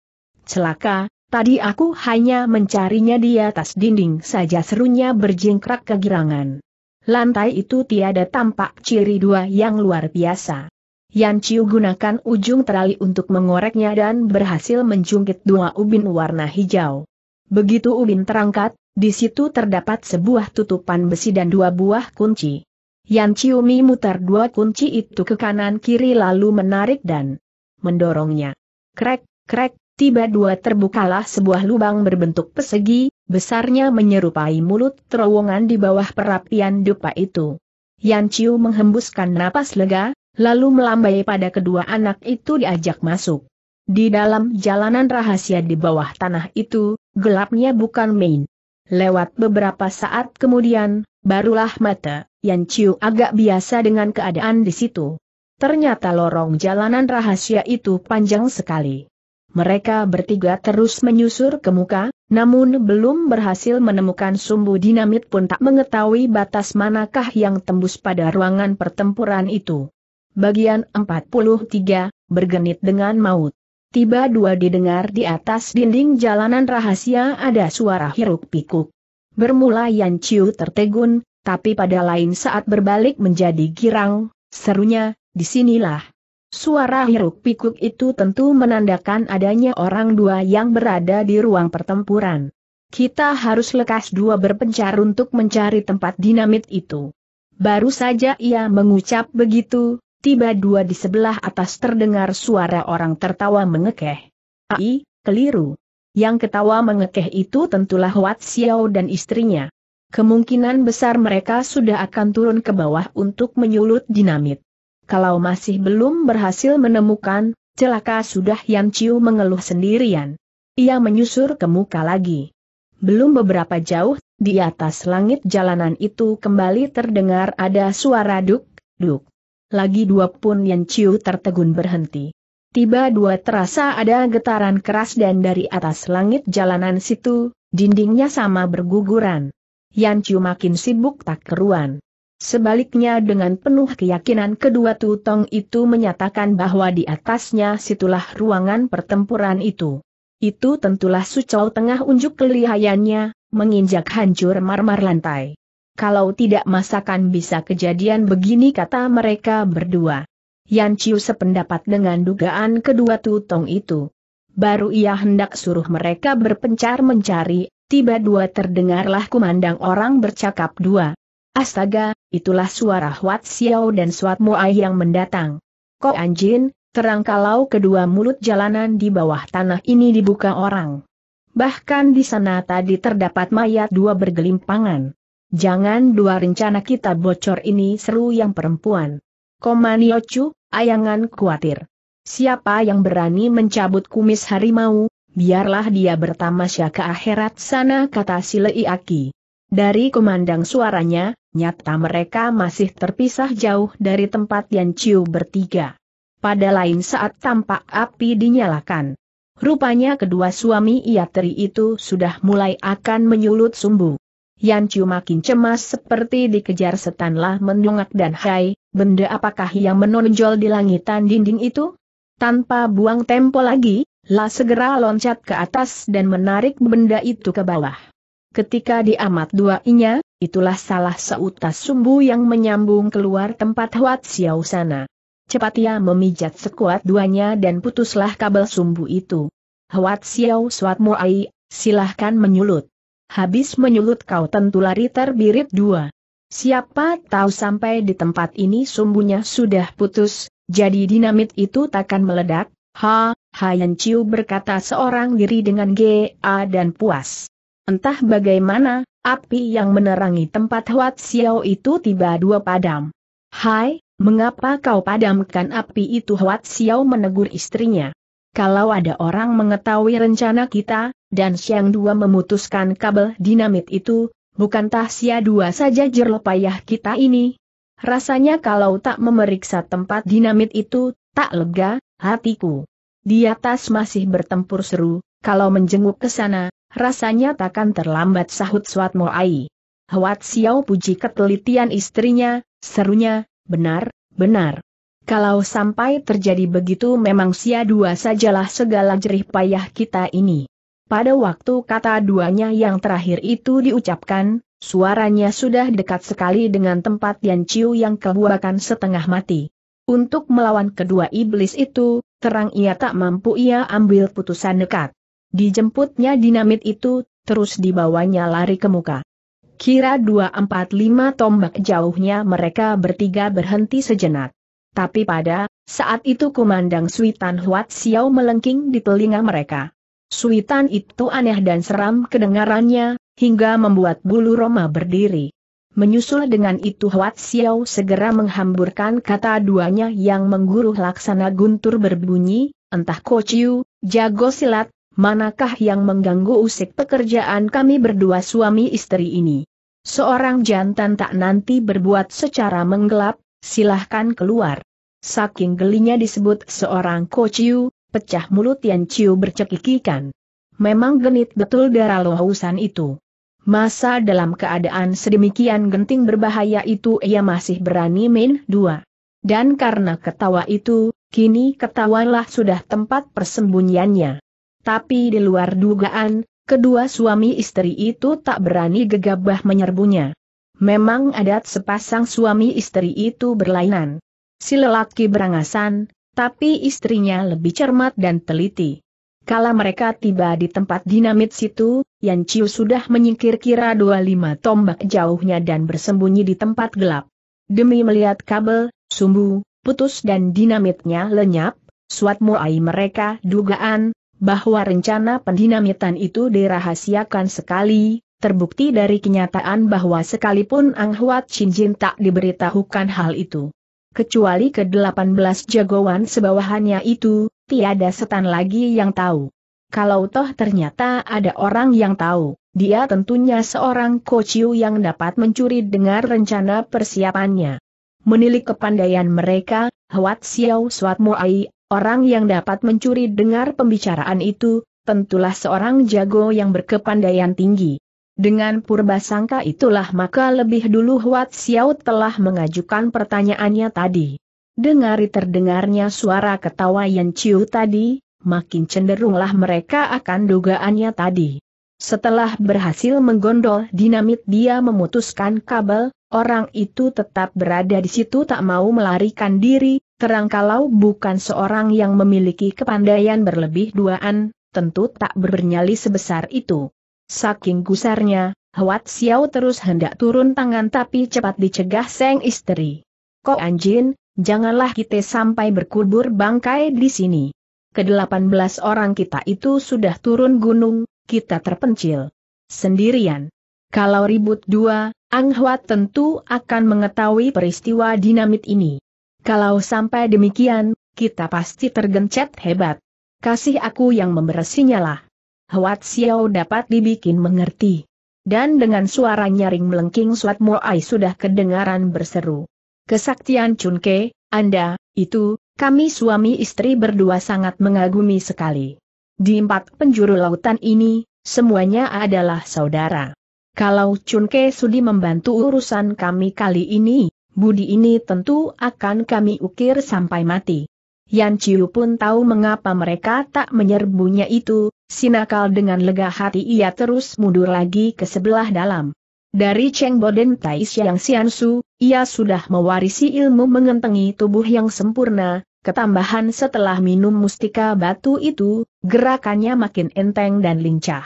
Pengundurannya itu tadi, sedikit pun tak menerbitkan suara apa dua. Tapi ia pun ternyata hanya dapat beringsut sejauh dua tombak saja, karena ketika berpaling ke sebelah dalam hatinya segera mengeluh cemas. Kiranya sampal di tempat itu, jalanan di bawah tanah situ sudah buntu. Di sekeliling situ tiada jalan tembusan lagi lah, andai kata ada, pada saat itu terang ia tak sempat menyelidikinya. Kegelisahan Yan Chiu, sukar dilukiskan. Niochu, rupanya sahabat itu tak mempedulikan kita tiba dua kedengaran Hwat Xiao berkata dengan iringan tertawa sinis. Tapi rupanya Seng istri masih berputus asa, serunya. Kami berdua suami istri yang bodoh ini, adalah Hwat Xiao dan Suat Moai dari Tiang Peksan. Oleh karena baru pertama kali berkunjung ke daerah selatan, jadi tak faham akan golongan orang gagah di daerah ini, sehingga dalam perjalanan itu kita lalai untuk membuat kunjungan. Kehormatan. Apabila bersalah terhadap saudara, mohon saudara sudi memberi maaf sebesar duanya. Dengan tak memberi jawaban suatu apa, apakah saudara benar dua tak suka berkenalan dengan kami? Tuh lihatlah. Bagaimana merendah suat moai dalam kata duanya itu. Ia tetap jerikan Yan Chiu yang dikiranya seorang jago sakti itu. Jadi kecemasannya tak lebih kurang dari Yan Tihiu sendiri. Memang dalam keputusan asa, Yan Chiu sudah membulatkan tekadnya. Kalau saja kedua orang itu berani menerjang, ia sudah siap untuk menyambutnya dengan melemparkan dinamit itu. Sekalipun tidak meledak, tapi sekurang duanya dinamit itu pasti akan pecah berantakan. Biarkan ia seorang diri binasa, asal sekian banyak orang gagah pejuang kemerdekaan itu tak sampai lebur. Semangatnya menyala dua dan nyalinya pun besar. Mati untuk perjuangan kemerdekaan negara, adalah mati sahid. Walaupun jasadnya hancur lebur, tapi namanya tetap bersemarak diagungkan sepanjang masa. Dan kalau dipikir lebih jauh, lambat atau laun, manusia itu tentu akan mati, pendirian Yan Chiu makin teguh. Orang menyohorkan suami istri Huat Xiao Suat Muai itu sebagai jagoan silat yang sakti. Tapi apa yang dapat dibanggakan oleh mereka berdua itu? Andai kata Yan Chiu nanti binasa, bukankah ia akan lebih disanjung dan diabadikan sebagai seorang Sri Kandi, jauh lebih terhormat daripada Huat Xiao dan Suat Muai itu? Pandangan terhadap nilai kedua suami istri jagoan itu menurun beberapa derajat. Maka atas ulangan pertanyaan Suat Moai tadi, ia hanya menyambutnya dengan sebuah tertawa dingin menghina. Mendengar itu Huat Xiao dan Suat Moai terkesiap. Kalau benar dua Chunke tak mau keluar, Cai He, aku, hendak mohon pengajaran barang sejurus. Dalam istilah dua yang maksudnya menyelomoti orang, menipu, ada salah satu yang berbunyi demikian. Mengobati kuda mati seolah dua binatang itu seperti hidup. Dan Yan Chiu yang teringat akan peribahasa itu, segera mempraktekannya. Dengan melengkingkan nada suaranya setajam mungkin, berserulah Yahem, siapa kalian karena takut lalu menakuti orang itu, aku pun sudah mengetahuinya. Ah, heran, mengapa Tolkun mengutus sebangsa kantong nasi macam kalian berdua itu untuk melakukan tugas sebesar ini. Keheranan kedua suami istri makin menjadi dua. Dari nada suaranya teranglah itu seorang wanita, tapi mengapa sedemikian beraninya? Sewaktu berkunjung ke daerah selatan situ, pernah dari salah seorang ke-18 jagoan itu mereka mencari keterangan tentang tokoh dua dunia persilatan di daerah selatan. Kesemuanya mengemukakan Kui Ing Chu, Ang Huat Chin Jin, Tai Xiang Xian Su dan Kang Xiang Yan, adalah empat datuk besar dari daerah situ. Lain duanya seperti Cheng Bo Siang Jin, Sin Eng Kotai, Nio Kong Lim dan lain dua, walaupun cukup kosen, tapi tak berlebih duaan. Tapi terhadap tokoh yang melengking nada suaranya dan yang begitu bernyali besar untuk memanggil nama Tolkun tanpa sebutan gelarnya, belum pernah mereka mendengarnya. Dan ternyata mereka merasa Jerry juga, tak berani gegabah menyerbu. Sebelum mati berpantang ajal. Yan Chiu gunakan tepat sekali ajaran pepatah itu. Ini disebabkan ia berada di dalam lorong jalanan rahasia, sehingga musuh dapat dikelabuinya. Coba di tempat yang lebar, tak nanti ia dapat mempermainkan Huat Xiao dan Suat Muai yang memiliki panca indera tajam itu. Memang tempat itu membantu banyak kepada Yan Chiu. Kumandang suara Huat Sisu Suat Muai, telah bergulung campur dengan kumandang nada suaranya, Yan Chiu, apalagi sengaja ia buat nadanya itu sedemikian rupa. Keng Siang Yankah kedua suami istri itu bertukar pandang seraya menduga dua dalam hati. Tapi mengingat bahwa tokoh itu masih berada di atas dan sedang terlibat dalam pertempuran dengan Anghwat, tentu bukan dianya. Sukakah kiranya Chun Kei memberitahukan nama dan gelaran Chun Kei yang mulia itu? Walaupun kepandaian kami berdua memang cetek, tapi kalau benar dua Chun Kei hendak menghalangi pekerjaan ini, rasanya tak mudah jugalah kembali Suat Muai berseru. Yan Chiu mengambil keputusan, sedapat mungkin ia hendak ulur waktu hingga mudah duaan nanti terjadi suatu perubahan yang tak terduga. Bangsa kantong nasi macam kalian itu, hendak melawan aku? Nyali musi besar juga berani datang ke daerah selatan sini, tapi ternyata hanya begitu macam kepandaianmu, masakan Lam Hai Leong Poh saja kalian sudah tak mengenalnya.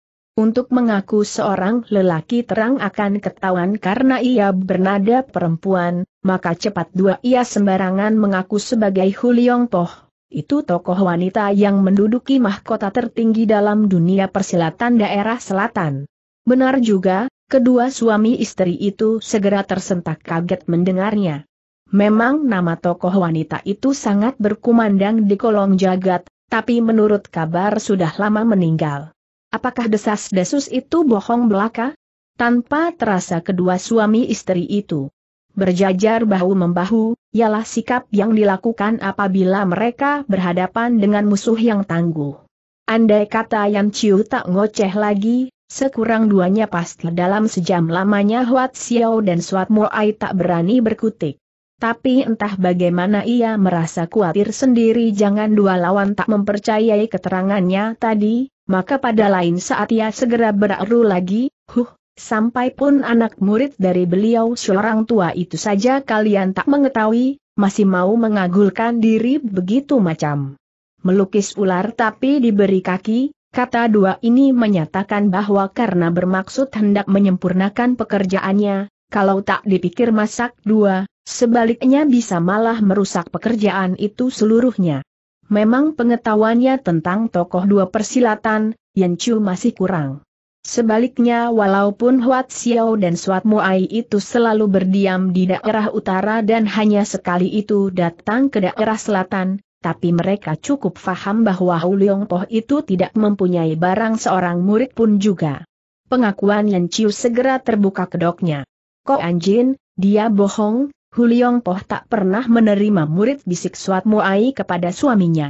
Benar, kita harus lekas dua turun tangan, kalau terlambat tentu akan gagal sahut Huat Xiao. Walaupun jaraknya dengan Yan Chiu hanya terpisah tiga tombak, tapi dengan kepandaian sakti yang dimilikinya itu, mereka dapat bergerak tanpa dapat diketahui. Tahu dua Huat Xiao sudah maju ke muka dan jelas kelihatan di muka sana tampak ada sesosok tubuh kecil langsing. Kini tahulah mereka kalau diselomoti orang. Masih Yan Chiu tak merasa akan perubahan posisi itu, maka masih juga ia enak duaan mengancam, mengapa kalian tak lekas dua tinggalkan tempat ini? Menilik sesama kaum persilatan, janganlah hendaknya sampai meretakkan perhubungan. Belum sampai ia menyelesaikan kata duanya itu atau Huat Xiao yang sudah jelas akan sandiwara itu, segera berkisar maju dan mengirim hantaman. dan baru Yan Chiu hendak meneruskan sandiwaranya atau mendadak Hwat Xiao sudah menubruk maju terus melontarkan serangan ganas. Terik panas membara laksana hawa di tengah muaim kemarau, adalah perasaan Yan Chiu kala dia menerima hantaman itu. Memang ilmu lekang yang diyakinkan Hwat Xiao itu adalah lekang Yan Hwat, api positif. Lekang itu dapat menyalurkan hawa sepanas api. Ilmu itu adalah warisan dari seorang persilatan aneh dari zaman Song, bernama Wat Buhei, api tak mempan, yang tinggal di Pulau Butitu di Laut Pak Hei. Luekang yang diyakinkan itu berlawanan sifatnya dengan yang difahamkan oleh Suat Moai. Apabila menghadapi musuh tangguh, selalu kedua suami istri itu bahu-membahu. Saking tak tahannya dibakar Luekang itu, Yan Chiu loncat mundur. Hwat Xiao murka karena dipermainkan tadi. Kini dengan beringas, dia loncat menerkam tangan si Nona. Karena tak dapat mundur lagi, Yan Chiu menghindar ke samping. Tapi dia ini ia segera rasakan hawa dingin merangsang tubuhnya, hingga sampai menggigil gemetar. Dalam sibuknya, segera ia loncat ke atas untuk menggelantung, kemudian loncat ke bawah lagi. Dengan jalan begitu, barulah ia dapat terlolos dari hantaman maut. Dalam pada itu ia pun segera siap untuk melemparkan dinamit itu. Tapi saat itu Huat Xiao dan Suat Moai sudah maju berbareng hingga ia tak mempunyai kesempatan sama sekali. Hanya pada lain kejap saja, atau Yang Chiu segera rasakan lengannya seperti terjepit besi, sakitnya bukan olah dua. Ai, mulutnya melengking keluh, dan dinamit yang dipegang itu pun jatuh ke tanah, dan cepat dua dipungut oleh Suat Moai. Ko Anjin, putusan sumbunya, masih dapat disambung. Kau jaga dia, biar aku yang memasangnya lagi seru Suat Moai. Hwat Xiao mengiakan dan lalu menepuk bahu Yan Chiu siapa terus saja mendeprok ke tanah tak dapat berkutik. Tapi dalam keadaan itu, masih jelas ya, melihat kedua suami istri itu sibuk memasang dinamit dan menyambung kabelnya lalu menyulutnya. Suara sumbu menyala mendesis dua dan mereka lalu mundur, terus lenyap dari situ. Penderitaan Yan Chiu kala itu sukar dilukiskan. Matanya melihat bahaya, namun badan tak berdaya. Seingatnya sejak sebesar itu, baru pertama kali itu ia mengalami siksaan yang sedemikian hebatnya. Sis, sis, sis. Demikianlah sumbu itu terus merayap. Baik kita tinggalkan dulu Yang Ciu yang tengah menantikan maut itu dan mari kita tengok kembali ke ruangan pertempuran sana. Seperti diketahui Kalak Tio yang rubuh dengan mulut berbebi busa, sekalian orang gagah sama menuduh bahwa arak yang dihidangkan orang Anghun Kiong itu tentu ditarui racun. Saat itu suasana hiruk pikuk bukan buatan manusia yang tak tahu malu, mengagungkan diri sebagai datuk cabang persilatan, tapi tak taunya sedemikian licik dan kejam perbuatannya, menaruh racun dalam arak. Sungguh biadab sekalian orang dua gagah dalam rombongan Cheng Bo berteriak dua dengan marah. Heran sekali Cheng Bo Siang Jin ketika mendadak melihat Tio Jiang menggeletak dengan mulut mengeluarkan busa dan kemudian telah sadar sendiri, ia menjadi ragu dua apakah sang murid itu mempunyai penyakit ayan? Ang Hawat marah besar, tapi ketika melirik ke arah Tio Jiang dilihatnya memang pemuda itu dalam keadaan pingsan tak ingat dan mulutnya mengeluarkan busa. Dia pun terperanjat, dan karena sedikit meleng itu, hampir dua ia kena digenjot Kang Xiang Yan, cepat ia pusatkan perhatiannya kembali menghadapi lawannya itu. Dalam pada itu, karena sama mengira sudah keracunan, beberapa orang di antaranya yang aseran terus ikut mengerubut ke arah Hang Huat Chinjin dan Dego.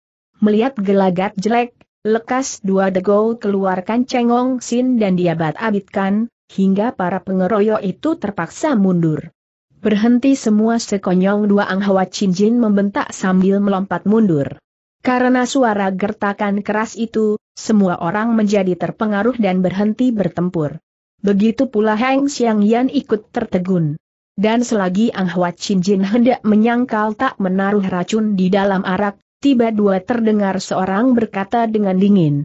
Bocah itu tentu terkena racun obat sip jitui huntan milik kepala suku Biao, Kiat Bong Tu, tiada sangkut pautnya dengan siapa pun.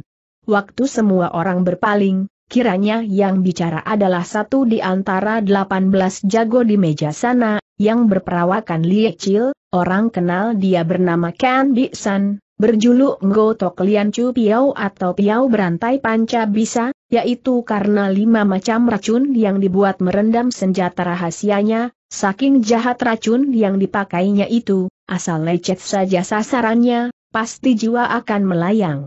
Sebab itu, nama Kan Bi San dengan cepat terkenal. Tapi karena kelakuannya yang tidak pandang kawan atau lawan, maka ia terdesak di kediamannya dan terpaksa menggabungkan diri pada pemerintah Cheng. Kini melihat suasana kacau balau, boleh jadi akan merusak rencananya, maka cepat ia bersuara untuk menghilangkan curiga semua orang. Ketika semua orang memandang Tio Jiang, Pemuda itu ternyata sudah baikan, busanya sudah sedikit, wajahnya mulai memerah. Dengan menahan sakit di lengannya, Cheng Bos Yang Jin mendekati muridnya itu dan memeriksa pernapasannya, tapi urat nadi Tio Jiang berjalan biasa, tampaknya bukan terkena racun. Karuan Cheng Bos sangat heran, kalau pemuda ini tidak keracunan, lalu kenapa mendadak roboh dengan mulut berbusa? Jangan dua punya penyakit ayan. Selagi Cheng Bo ragu dua, terdengar Tio Ji yang sudah bisa bersuara seperti orang baru bangun tidur. Cheng Bo pikir dalam keadaan demikian, kalau pertarungan dilakukan secara kerubutan, tentu takkan menguntungkan pihaknya, apalagi pihak musuh masih ada dua jago yang belum turun kalangan. Maka serunya, harap semua orang kembali tempat duduknya masing dua. Tapi baru selesai perkataannya, mendadak terdengar suara jeritan ngeri. Bagian 44, ANJING gila.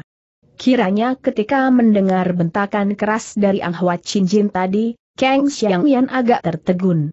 Tapi ternyata Anghwa tak menyerang, maka Kang Xiang Yan buru dua menghampiri Bek Lian. Tapi pada saat itu keadaan Bek Lian sudah keliwat payah. Keguncangan yang dideritanya adalah sedemikian hebat, hingga kandungannya turut bergerak keras. Sekali mulut menguap, segumpal. Darah segar muntah keluar dan limbunglah ia antara sadar tak sadar. Masih ia dapat mengenali wajah ibunya, tapi karena tenaganya sudah habis, sepasang bibirnya yang pucat seperti tak berdarah itu bergerak dua, namun tak dapat mengeluarkan sepatah kata pun jua. Melihat putri biji matanya mengalami penderitaan yang sedemikian sengsaranya, kemurkaan Kang Xiang Yan meluap. Ia deliki mata ke arah Degau, di mana saat itu justru sedang memandang ke arah Lian dan Kang Xiang Yan. Pancaran mata Kang Xiang Yan ternyata sedemikian berapi dua, hingga jantung Degau serasa berdebar keras. Bangsat, tak nanti kau terlepas dari tanganku pikir Kang Xiang Yan lah anggap jiwa Bek. Lian lebih utama dahulu, maka segera ia salurkan lewekang untuk menjalankan perdarahan tubuh Bek Lian. Lewat beberapa jurus kemudian, barulah Bek Lian kedengaran menangis. Sudah, nak, jangan menangis. Biar ibumu yang membalaskan hibur Kang Xiang Yan dengan rawan. Mendengar itu Dego takut setengah mati. Kalau Kang Xiang Yan sampai turun tangan, habislah riwayatnya. Dari segala macam siasat membela diri, angkat kaki adalah yang paling selamat. Sebat sekali dia lalu hendak ngacir, tapi ternyata Kang Xiang Yan lebih sebab darinya. Hanya tampak tubuhnya berguncang sedikit, atau tahu dua wanita gagah itu sudah berada di sampingnya dan terus ulurkan tangannya hendak mencengkeram. Cian Bin Long Kun Tego coba hendak menangkis dengan ular cengong sin, tapi cukup dengan dua buah jari saja Kang Xiang Yan telah dapat menjepit erat dua angsang ular itu, hingga tak dapat berkutik lagi. Malah berbareng itu, lima buah jari tangan kirinya mencengkeram bahu Degau, menekan bagian tulang pipah kun. Maka seketika itu Degau rasakan. Kesakitan hebat dan mengeranglah dia dengan jeritan seram. Hem, kukiraka seorang jantan, berani berbuat berani tanggung resiko, tak taunya hanya bangsa kantong nasi, belum mati sudah menjerit dua ketakutan Kang Xiang Yan menyeringai. Wajah Dego berubah pucat lesi, butiran keringat sebesar kacang hijau berketesa turun dari dahinya. Mukanya seperti orang dicekik setan tampaknya. Keng Xiang Yan sentuhkan lengannya ke tangan The Go dan kelima jari si anak muda yang mencekali ular itu segera kendor. Tahu dua Chengong Sin sudah pindah ke tangan Keng Xiang Yan. Karena angsangnya dipijat, ular itu tak dapat berkutik, hanya lidahnya saja yang menjulur surut. Demi dirangsang oleh kebenciannya terhadap mantunya yang manis itu. Keng Xiang Yan acungkan ular Chengong Sin ke muka The Go. Bau amis segera menyempok hidung Tego ketika lidah cengong sin itu terpisah hanya setengah dim dari kulit mukanya. Hilang semangat Tego dibuatnya dan serentak merintih dia dengan teriba dua, Gakbo, ampun. Xiao Sai mengaku salah. Ampun, Gakbo, ibu mertua, teriak Tego ketika kena dicengkeram Kang Xiang Yan. Terjentik sanubari Kang Xiang Yan mendengar rintihan sang menantu itu. Putrinya sudah terlanjur memilihnya dan sudah pula mengandung, kalau dia dibunuh, berarti juga Beklian nanti akan menjadi janda sebelum kawin. Suatu hal yang memalukan sekali. Tanpa terasa tangan wanita gagah itu disurutkan ke belakang untuk menarik ular cengongain. Hang Moai, jangan kena diakali bangsat itu dia tak boleh diberi hidup lagi kedengaran Cheng Bo Siang Jin berseru demi dilihatnya Seng istri hendak membatalkan rencana. Juga Taisan Simto Iliok berteriak keras dua untuk menganjuri, hingga membuat Kang Siang Yan menjadi serba salah. Di lain pihak, Ang Huat Chin Jin gelisah sekali. Dia sangat sayang anak muda itu melebihi dari semua murid duanya. Namun hendak dia menolong, berarti akan mempercepat kematian Degao, karena terang nanti Kang Siang Yan tentu akan turun tangan lebih lekas. Jadi keadaan cincin itu pun seperti si bisu makan getah atau menderita tapi tak dapat menyatakan. Maka sekalipun dia seorang jago lihai, namun tak dapat berbuat apa dua untuk menolong muridnya. Tiba dua terkilas dalam pikirannya sebuah siasat. Digenggamnya dua buah tiliancu, senjata rahasia berbentuk biji terate, dan wood, Wut melayanglah dua. Buah tiliancu, satu ke arah kepala ular cengong sin dan satu ke lengan Kang Xiang Yan. Tokoh macam Mang Huat sebenarnya tak perlu menggunakan senjata rahasia lagi. Tapi karena keadaan memaksa, terpaksa dia gunakan tiliancu, suatu senjata rahasia yang dikuasainya sejak dia masih muda. Dan khawatir kalau dua buah tiliancu tadi akan gagal, dia merogoh ke dalam saku dan menyusuli lagi dengan berpuluh dua buah. Tak kurang dari tahun 1930-an buah Tiliancu menabur ke arah Kang Xiang Yan, laksana hujan tercurah dari langit, suaranya mengaum dua memecah angkasa. Jaraknya dengan Kang Xiang Yan hanya terpisah setombak lebih, jadi presentasinya tentu mengenai. Kang Xiang Yan sedikit pun tak sayang akan ular cengong sin, tapi ia tak sudi lengannya sampai terkena senjata rahasia yang lihai itu. Ia cukup sadar Tilian Chu merupakan suatu senjata rahasia yang berbahaya, sekalipun orang memiliki ilmu tiat posan, tak mempan senjata, namun sukarlah rasanya untuk menahan serangan senjata tersebut yang dilepas oleh seorang tokoh macam Ang Huat Chin Jin. Namun kalau hendak menghindar berarti memberi kesempatan Tegolari, suatu hal yang tak dikehendaki Kang Xiang Yan. Tiba dua dalam keadaan yang serba sulit itu, terdengarlah suara bergemerincing. Ah, kiranya Kui Ing Chu telah bertindak dengan sebat. Tokoh aneh itu tahu bahwa Ang Huat hendak membinasakan Chengong Sin agar The Go terhindar dari pagutan maut. Tahu juga dia bahwa Kang Xiang Yan tak ambil mumet dengan ular sakti yang diperoleh susah payah oleh-oleh si Klosem, maka cepat dia ambil sebuah sendok perak yang sekali dipijat menjadi patah macam sebuah senjata rahasia, lalu ditimpukan. Oleh karena dia lebih dekat dengan Kang Xiang Yan, maka sekalipun tak dapat membuat jatuh tapi sekurang duanya dapatlah kepingan sendok itu membuat Tilian Chu itu miring arah layangnya dan jatuh ke samping. Kalau tadi Kiang Xiang Yan masih ragu dua, kini dengan adanya tindakan Ahwat itu, ia menjadi beringas. Sekali mendorong, Gegau segera terjerembab ke dalam taburan hujan Tilian Chu. Berpuluh dua Tilian Chu menghujani tubuh pemuda culas itu. Cheng Bo lega, tapi sebaliknya Be Lian masih merasa iba melihatnya. Ting, ting, ting, berpuluh dua tilian cu telah menghantam tubuh Degau, tapi begitu kena semua senjata rahasia itu pada jatuh ke tanah. Sedikit pun anak muda itu tak kena apa dua, malah terus gunakan gerak Hang Cumecin, berosot ke samping terus lari sifat kuping. Keng Xiang Yan terlongong karena kekebalan Seng Mantu yang manis itu, hingga tak keburu menangkapnya. Dan ketika ia tersadar hendak mengejar, Ang Huat telah menyambutnya dengan hantaman yang dahsyat. Dalam beberapa kejap saja, keduanya telah saling berhantam sampai sepuluh jurus, kemudian baru saling surut ke belakang. Ang Huat tertawa terkekeh dua. Keng Xiang Yan, kau juga seorang ciampua, mengapa memusuhi seorang anak? Kalau Pinto tak keburu unjukkan sedikit permainan, namamu tentu tercemar. Saking gusarnya Kang Siang Yan buang cengong sin, serunya, Imam tua Anghuat, kau ngoceh apa itu? Kalau hari ini belum kucincang tulang belulang anak itu, jangan harap aku tinggalkan tempat ini. Anghuat jebirkan bibirnya, menyeringai, kau hendak tinggalkan tempat ini? Hem, rasanya harus memerlukan idinku dahulu. Keduanya siap hendak bertempur lagi, rupanya kedua pihak makin lebih ngotot dari tadi. Meski dibanting ke lantai oleh Kang Xiang Yan, tapi Chengong Sin bukan sembarangan ular, begitu menyentuh tanah, segera badannya meringkuk sambil menjulurkan kepalanya ke atas. Melihat kesempatan itu, cepat Kan Bi San melompat maju hendak menangkapnya, tapi Kui Ing Chu tak mau ketinggalan, segera ia pun melayang maju terus menghantam.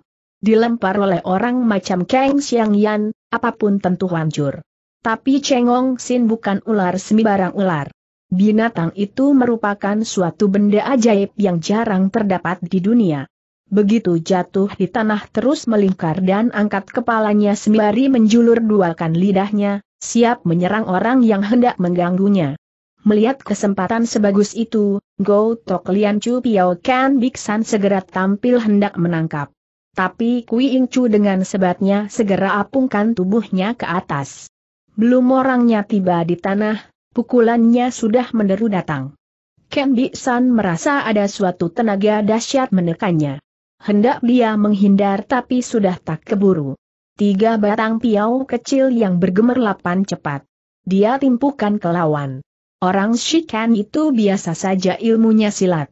Kepandaian yang diandalkan, hanyalah ilmunya menyabit piau dengan kedua tangannya maju berbareng.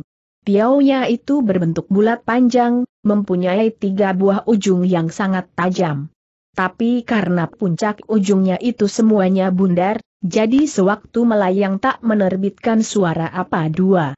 Perhatian Kui Chu dicurahkan untuk mencegah orang merampas Cengong Sin, maka sedikit pun dia tak mengira kalau orang Shikan itu sedemikian ganasnya.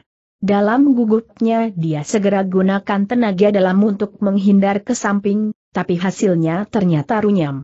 Sebagaimana telah diketahui, karena menolong si Sam yang terkena hantaman Kang Xiang Yan tempo hari, dia telah kekurangan lewekang dan tenaga murni. Maka bukan kepalang kagetnya demi diketahui bahwa gerakannya kini tak segesit dahulu. Dua buah piau hanya terpisah beberapa dim di sisi tubuhnya, tapi nomor tiga yang teracir tepat sekali menyusup ke pahanya. Seketika dia rasakan bagian anggota tubuhnya mati rasa. Cepat dua dia cabut piau beracun itu, begitu tubuh menurun dia sapukan kaki dan berbareng menangkap Cengong Sin. Menurunkan tubuh, mengaitkan kaki, mencabut piau dan menangkap ular, Empat macam gerakan dia lakukan berbareng sekaligus. Ken San yang biasa saja ilmunya silat, mana dapat bertahan diri atas kemarahan Kui In Chu itu. Krek, krek, kedua kakinya patah tersapu gerakan Kui In Chu. Syukur kawan duanya lekas maju menolong. Kedelapan belas orang itu saling memberi isyarat mata yang tujuh belas segera keluar dari gereja Anghun Kiong itu, sementara yang satu lalu memberitahu pada Wat Xiao dan Suat Moai supaya lekas dua bertindak. Pada saat itu perhatian Ang Huat tengah dicurahkan untuk menghadapi Kang Xiang Yan, jadi dia tak mempunyai keluangan untuk mengurusi orang duanya itu. Sedang di pihak Cheng Bo dan kawan dua sedikit pun tak mengetahui akan adanya suatu rencana yang ganas itu. Mereka mengira, orang dua itu membawa Ken San keluar untuk diobatinya. Ada beberapa orang yang mengetahui kedahsyatan piau buatan orang dua suku Tiateng Biao itu segera menganjurkan supaya Kui Ing Chu potong saja bagian daging yang terkena piau itu. Tapi piau buatan suku Biao itu sangatlah hebatnya. Tadi pun adanya Tio Ji yang tak hujan tak angin sekonyong dua menjadi seperti orang kalap tak sadarkan diri, adalah terkena pengaruh racun dari Picap Jitui Huntan, merampas jiwa dalam sepuluh hari, buatan suku Tia Teng Biao, ketika Tio Jiang minum teh yang dihidangkan Kit Bong Tu di gunungnya. Walaupun dengan gunakan lewekang dia muntahkan lagi teh beracun itu, namun sisa sedikit yang masuk ke dalam perut cukup membuat dia tak sadar, begitu waktunya tiba. Tapi karena luekangnya kini maju pesat, maka dapatlah pengaruh obat racun yang hanya sedikit itu, dipunahkan dan dia pun segera ingat diri pula. Sebaliknya racun Piao Bi San itu disebut Hang Sin San, obat membikin gila. Walaupun dengan sebat sekali Kui Ing Chu segera mencabutnya, namun racun tersebut sudah keburu masuk ke dalam pembuluh darah dan naik ke atas. Amputasi atau pemotongan sebagian anggota badan, hanya berguna terhadap racun biasa. Namun racun buatan Kit Bong Tu itu lain sifatnya. Sekalipun andai kata paha Kui Ing Chu itu dipotong semua, akan sia dua jua. Dan begitu racun merangsang, pikiran Kui Ing Chu sudah limbang, jadi begitu ada orang mengajak bicara, biji matanya membalik, sikapnya beringas menakutkan. Sehingga kawan duanya sama terkesiap jari. Sebaliknya The Go bergendang paha, serunya, Ho, orang itu terkenang Go Tok Lian Hoan Piao. Dia bakal seperti anjing gila, mana mau dengar kata dua tanda seru. Cheng Bo terperanjat dan deliki mata, sedang Taisan Sinto Iliok segera memaki habis duaan. Mengapa si Cian Bin Long Kun tetap sehat walafiat? Marilah kami mundur dahulu. Kiranya Ang Huat telah memperhitungkan bahwa Kang Xiang Yan tentu akan membuat Degau sebagai umpan, maka taburan Tilian Chu tadi dia gunakan trik, permainan. Dalam jarak yang sudah diukurnya begitu mengenai tubuh, puluhan Tilian Chu itu hilang daya kekuatannya dan jatuh berhamburan ke tanah. Sedemikian indah permainan kepala gereja Ang Hun Kiong itu, hingga Kang Slang Yan sampai kena dikelabungi dan lepaskan Degau. Bermula Tegau sudah pasrah nasib, tapi serentak terasa taburan Tilian Chu itu sudah punah dayanya, tahulah dia maksud sucounya itu. Dan sebagai orang yang cerdas, dapatlah dia menggunakan kesempatan itu, sebagus duanya. Demikianlah rahasia kekebalan Tegau. Sekarang mari kita ikuti keadaan Kui Ing Chu lagi. Begitu terkena penyakit anjing gila, Kui Ing Chu lupa daratan tak kenal mana lawan maupun kawan. Sampai pun Kang Xiang Yan dan Ang Huat sama alihkan pandangannya kepada tokoh itu, siapa tampak matanya menjadi merah membara. Kui Heng, kau bagaimana seru Cheng Bo, Kotai dan si bongkok dengan serempak. Namun Kui Ing Chu kembali menggerung keras. Ang Huat Chin Jin, mengapa sampai seorang buaya darat macam Kan Bi San, kau ajak berserikat teriak Cheng Bo Jin. Sekalipun Ang Huat membantu pemerintah Cheng, tapi dia seorang ketua dari sebuah aliran cabang persilatan, jadi sekurang duanya dia masih memegang kehormatan persilatan. Tahu Kui Ing Chu belum apa dua sudah kena piau beracun, dia pun agak kurang enak. Berpaling ke belakang, didapatinya hanya ada dua orang muridnya saja. Teksan undanglah Go Tok Lian Chu Piao Kan Bi San kemari katanya kepada Jimolong Teksan, siapa mengiyakan dan terus berlalu. Pada saat itu, sekonyong dua Kui Ing Chu loncat setombak lebih tingginya. Di atas udara dia berjumpalitan dan begitu menginjak tanah, kembali dia perdengarkan teriakan aneh sampai dua kali. Sepasang matanya makin beringas merah. Oleh karena tahu bagaimana kelihayan tokoh itu, kawan duanya tak berani menghampiri, malah sama menyingkir. Juga Cheng Bo cemas akan perubahan sahabatnya itu. Oleh karena Kan Bi San belum muncul maka Cheng Bo segera perintah kawan duanya menyingkir saja. Begitulah ketika dia memberi aba dua, kawan duanya sama bubar dan tinggalkan ruangan itu. pun seorang tokoh dua macam Ang Huat dan Kang Siang Yan tak urung cemas juga. Kang Siang Yan segera menggendong Bek Lian sedang Ang Huat pun lalu menarik tangan Dego untuk diajak berlalu. Menurut anggapan orang banyak, hanya Tio Ji yang seorang yang paling akrab sekali hubungannya dengan Kui Ing Chu. Tapi keadaan anak itu baru saja sembuh terkena racun, jadi kasihan kalau sampai kena apa dua. Dalam pada itu, Kui Ing Chu makin menjadi dua keadaannya. Sepasang matanya berapi dua dan sekonyong dua dia pentang kedua lengannya lengan kanan masih tetap mencekali Cengong Sin, sedang tangannya kiri menghantam dua kali pada sebuah tiang sepemeluk lengan besarnya, tiang besar itu. Rompal bertebaran ke mana dua. Kui Ing rupanya masih penasaran dan digeragotinya lah tiang itu. Kui Lo Ciampua, kau ini kena apa Tio Jiang yang merasa kasihan segera bertanya. Kui Ing Chu angkat kepalanya dan deliki mata pada Tio Jiang sembari tertawa meringkik, sehingga Tio Jiang berdiri bulu romanya. Kui Ing Chu mundur selangkah. Kembali dia tertawa meringkik dan tiba dua, bang, bang, bang. Tahu dua tiang itu didorongnya rubuh sehingga ujung rumah itu ambruk sebagian. Orang dua yang sama menyingkir di sebelah luar ruangan itu, makin cemas. Coba tengok lagi, mengapa saudara?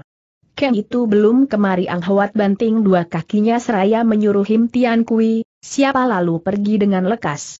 Sementara itu Cheng Bo yang terus-menerus mengikuti keadaan Kui Ing Chu, dapatkan bahwa tokoh itu kini melekatkan pandangannya kepada Tio Jiang. Jiang Ji, kembalilah lekas, jangan cari bahaya serunya memanggil Seng Murid. Tapi sudah terlambat.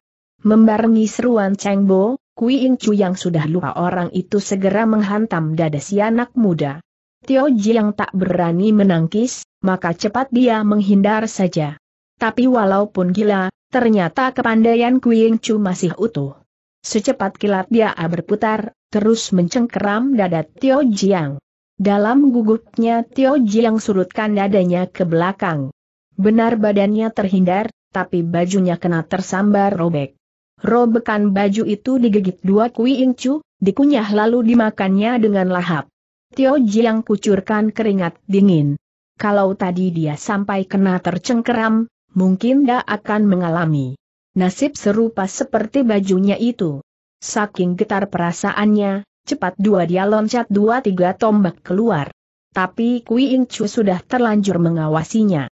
Melihat orang bergerak, dia pun segera membayangi, sehingga kini mereka saling kejar duaan. Selagi mengejar itu, Kui Ing Chu kerjakan kaki tangannya. Tiang, meja, kursi, ya pendek ya tahun 2010-an meja perjamuan berikut semua kursinya, telah sungsang sumbal habis diamuknya. Sebenarnya Tio Jiang kalah cepat larinya dengan Kui Ing Chu, tapi karena Kui Ing Chu menghajar meja kursi, jadi sampai sekian lama dapatlah dia terhindar. Sebuah meja dari kayu mahoni yang keras dan kokoh, sekali hantam dapat dipecah menjadi dua belah oleh Kui Ing Chu. Sudah tentu hati Tio Jiang kebat-kebit dibuatnya. Puncak kecemasannya memuncak ketika Kui Ing Chu lepaskan kepala Cheng Sin, hingga ular itu kini milingkar dua. Tapi rupanya Kui Ing Chu tak menghiraukan. Tio Jiang makin gelisah, tapi pada saat itu Yan Chiu yang telah ditutup jalan darahnya dalam jalanan rahasia di bawah tanah, lebih dua cemas lagi perasaannya. Kiranya begitu ketujuh belas orang dua pemerintah Cheng itu mengundurkan diri mereka lalu melapor pada sepasang suami istri Huat Xiao dan Suat Mo Ai. Kedua orang ini segera turun masuk di terowongan bawah tanah untuk menyulut sumbu bahan peledak, dinamit. Karena kena tertutup jalan darahnya, Yan Chiu tak dapat menghalangi. Pada saat Cheng Bo perintahkan kawan duanya keluar dari ruangan itu, sumbu obat peledak tengah disulut Huat Xiao. Benar tak berdaya, tapi pikiran Yan Chiu masih terang dan dapat membayangkan bagaimana ngerinya nanti apabila dinamit itu meledak. Hatinya berdoa agar sumbu itu pelahan saja nyalanya, namun matanya melihat jelas bagaimana api sumbu itu menjalar dengan cepat makin lama makin dekat. Saking diterkam, ketakutan, ia sudah layap dua antara sadar tak sadar. Tiba dua ia mendengar suara bang, yang keras sekali, sehingga ia tersentak kaget. Suara atap dan tiang gempar menggelegar, malah ada beberapa pecahan genting yang jatuh menimpa badannya, sehingga buru dua ia menutup mata menanti ajal. Tapi heran, setelah tebaran debu dan pecahan atap itu sirap, Suasananya masih tetap hening saja lah rasakan dirinya pun tiada kurang suatu apa.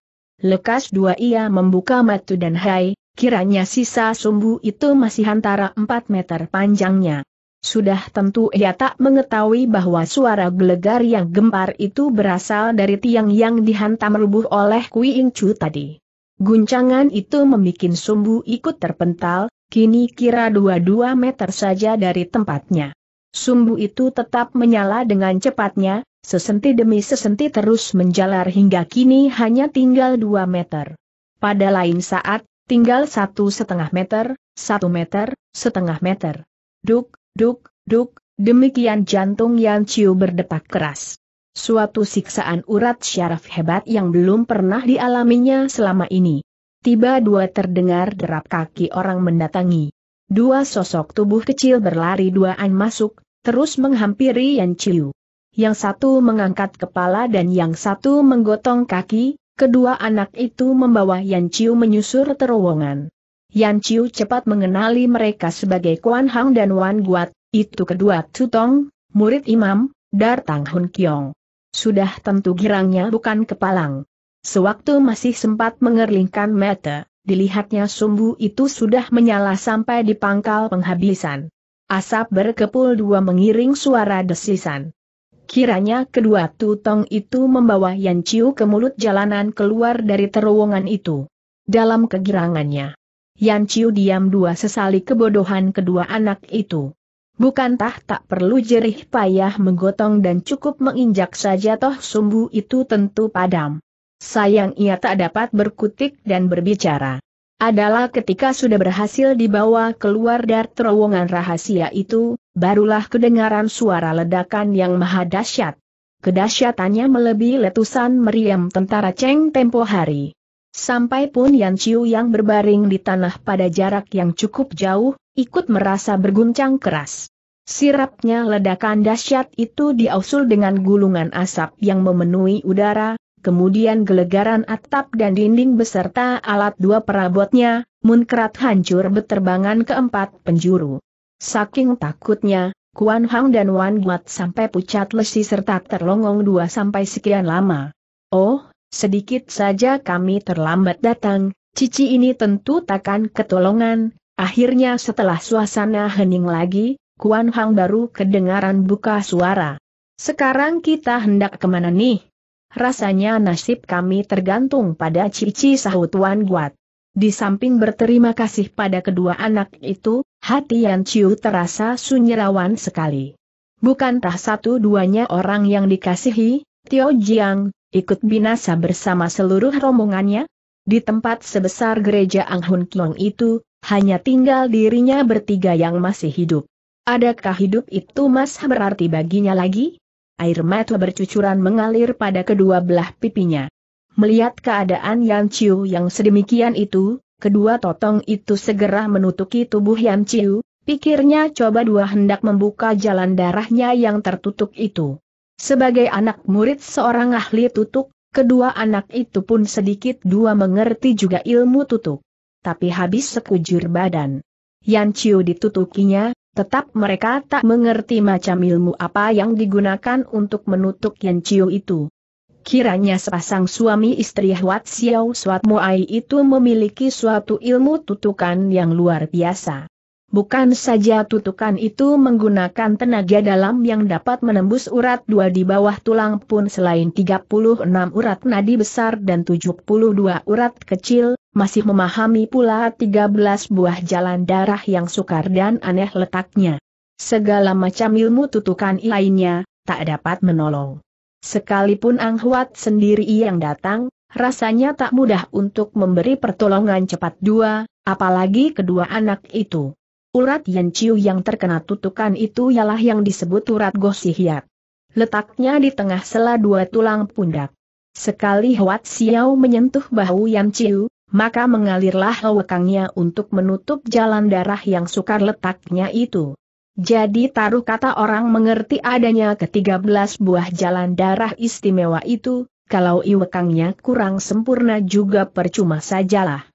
Itu saja tadi karena buru dua hendak menyulut sumbu, Hwat Xiao hanya menekan pelahan dua, coba tidak siang dua yang ciu pasti sudah melayang jiwanya dengan seketika. Dan karena kurang keras tekanannya itu, maka secara kebetulan, saja dapatlah Kuan Hang dan Wan Guat menutup lepas jalan darah pembisu, hingga seketika berkauklah Yan Chiu Ah. Koma serunya dengan lega, karena kini ia sudah dapat bicara lagi sekalipun kaki tangannya masih belum dapat bergerak. Cici, bagaimana kami berdua ini? Kedua anak itu buru dua membungkuk ke bawah dan bertanya. Sebenarnya Yang Chiu kepingin menangis untuk melonggarkan kesesakan hatinya, karena ia sendiri tak tahu apa yang harus dikerjakan. Tapi demi melihat wajah kedua, anak yang mohon perlindungan itu, seketika timbullah semangatnya pula. Lebih dahulu angkutlah aku ke ruangan yang hancur itu sahut Yan Chiu. Perintah mana, segera dikerjakan dengan segera. Tapi baru masuk beberapa tindak di terowongan itu tadi, Ternyata hampir seluruh lorong di situ terhalang oleh puing atap dan lantai. Syukurlah kedua anak itu mengerti ilmu silat, jadi walaupun dengan susah payah akhirnya berhasillah mereka menyusuri lorong terowongan yang berliku dua itu dan kini tiba di sebuah jalan lurus datar. Keadaan tempat itu hancur tak keruan, kutungan kayu bekas kaki meja dan kursi berserakan di sana-sini. Cici, ini ruangan pertempuran tadi kata kedua anak itu. Yan Chiu mengawasi ke seluruh ruang situ, tapi untuk keheranannya tiada terdapat barang sesosok mayat pun juga. Yang tampak, kecuali puing dan kutungan kayu, ada lagi sebuah lubang besar pada lantai.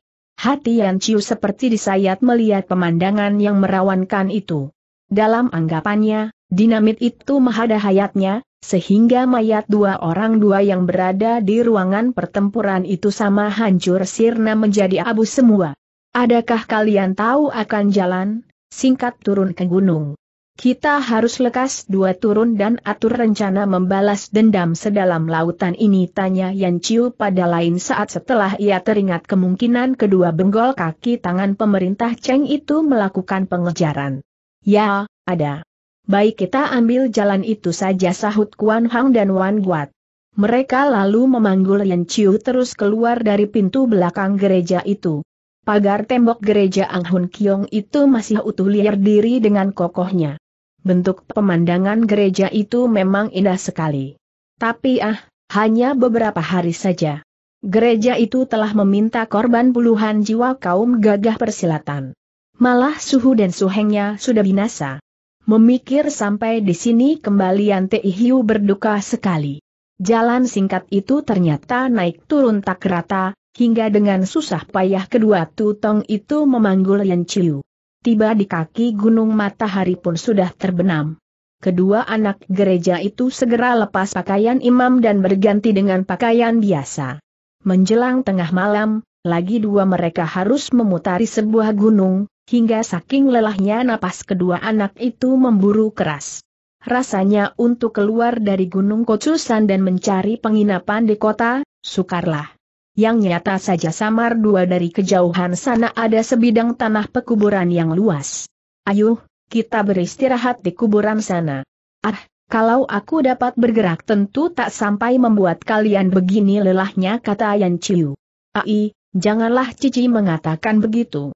Kalau Cici tak menolong kami, Siang dua kami tentu sudah mati sahut Kuan Hang dan Wan Guat sambil mengusap keringatnya. Tiba di pekuburan luas itu, tampak ada sebuah kuburan besar yang dikelilingi dengan pohon jati tua yang batangnya hampir sepemeluk lengan besarnya. Di muka kuburan itu ada dua buah orang duaan batu dan dua kuda batu. Tulisan pada batu nisan itu sudah tak jelas karena dihapus hujan kelan angin berpuluh tahun, hanya menilik bentuknya, kuburan itu tentu kepunyaan bangsa pembesar tinggi atau orang hartawan. Lantai di muka dan di belakang kuburan itu sudah sama rusak, penuh ditumbuhi rumput alang dua setinggi orang. Suasana di situ cukup menyeramkan, lebih dua kalau puhun jati berderak dua ditiup angin malam dan burung hantu menyanyi lagu kematian. Karena masih kanak dua, walaupun mengerti ilmu silat namun Kuan Hang dan Wan Guat tak terlepas dari rasa takut. Melihat itu Yan Chiu mendamperatnya, huh, kalian kan sudah belajar ilmu silat mengapa masih bernyali seperti tikus begitu? Ketika dahulu aku mulai naik kelausan, usiaku masih lebih kecil dari kalian sekarang ini. Ya, marilah kita beristirahat dahulu di sini. Ya, bagaimana kalian mengetahui kalau aku berada di dalam terowongan di bawah tanah tuh? Ada seorang engkoh menyuruh kami mencarimu di situ. Karena tak kenal dia, aku tak mengatakan apa dua padanya dan hanya mencarinya sendiri. Begitu masuk ke dalam terowongan, kami membaui asap mesyu maka buru dua kami menyelamatkanmu lebih dahulu sahut Kuan Hang yang rupanya lebih cekat bicara dari Wan Guat.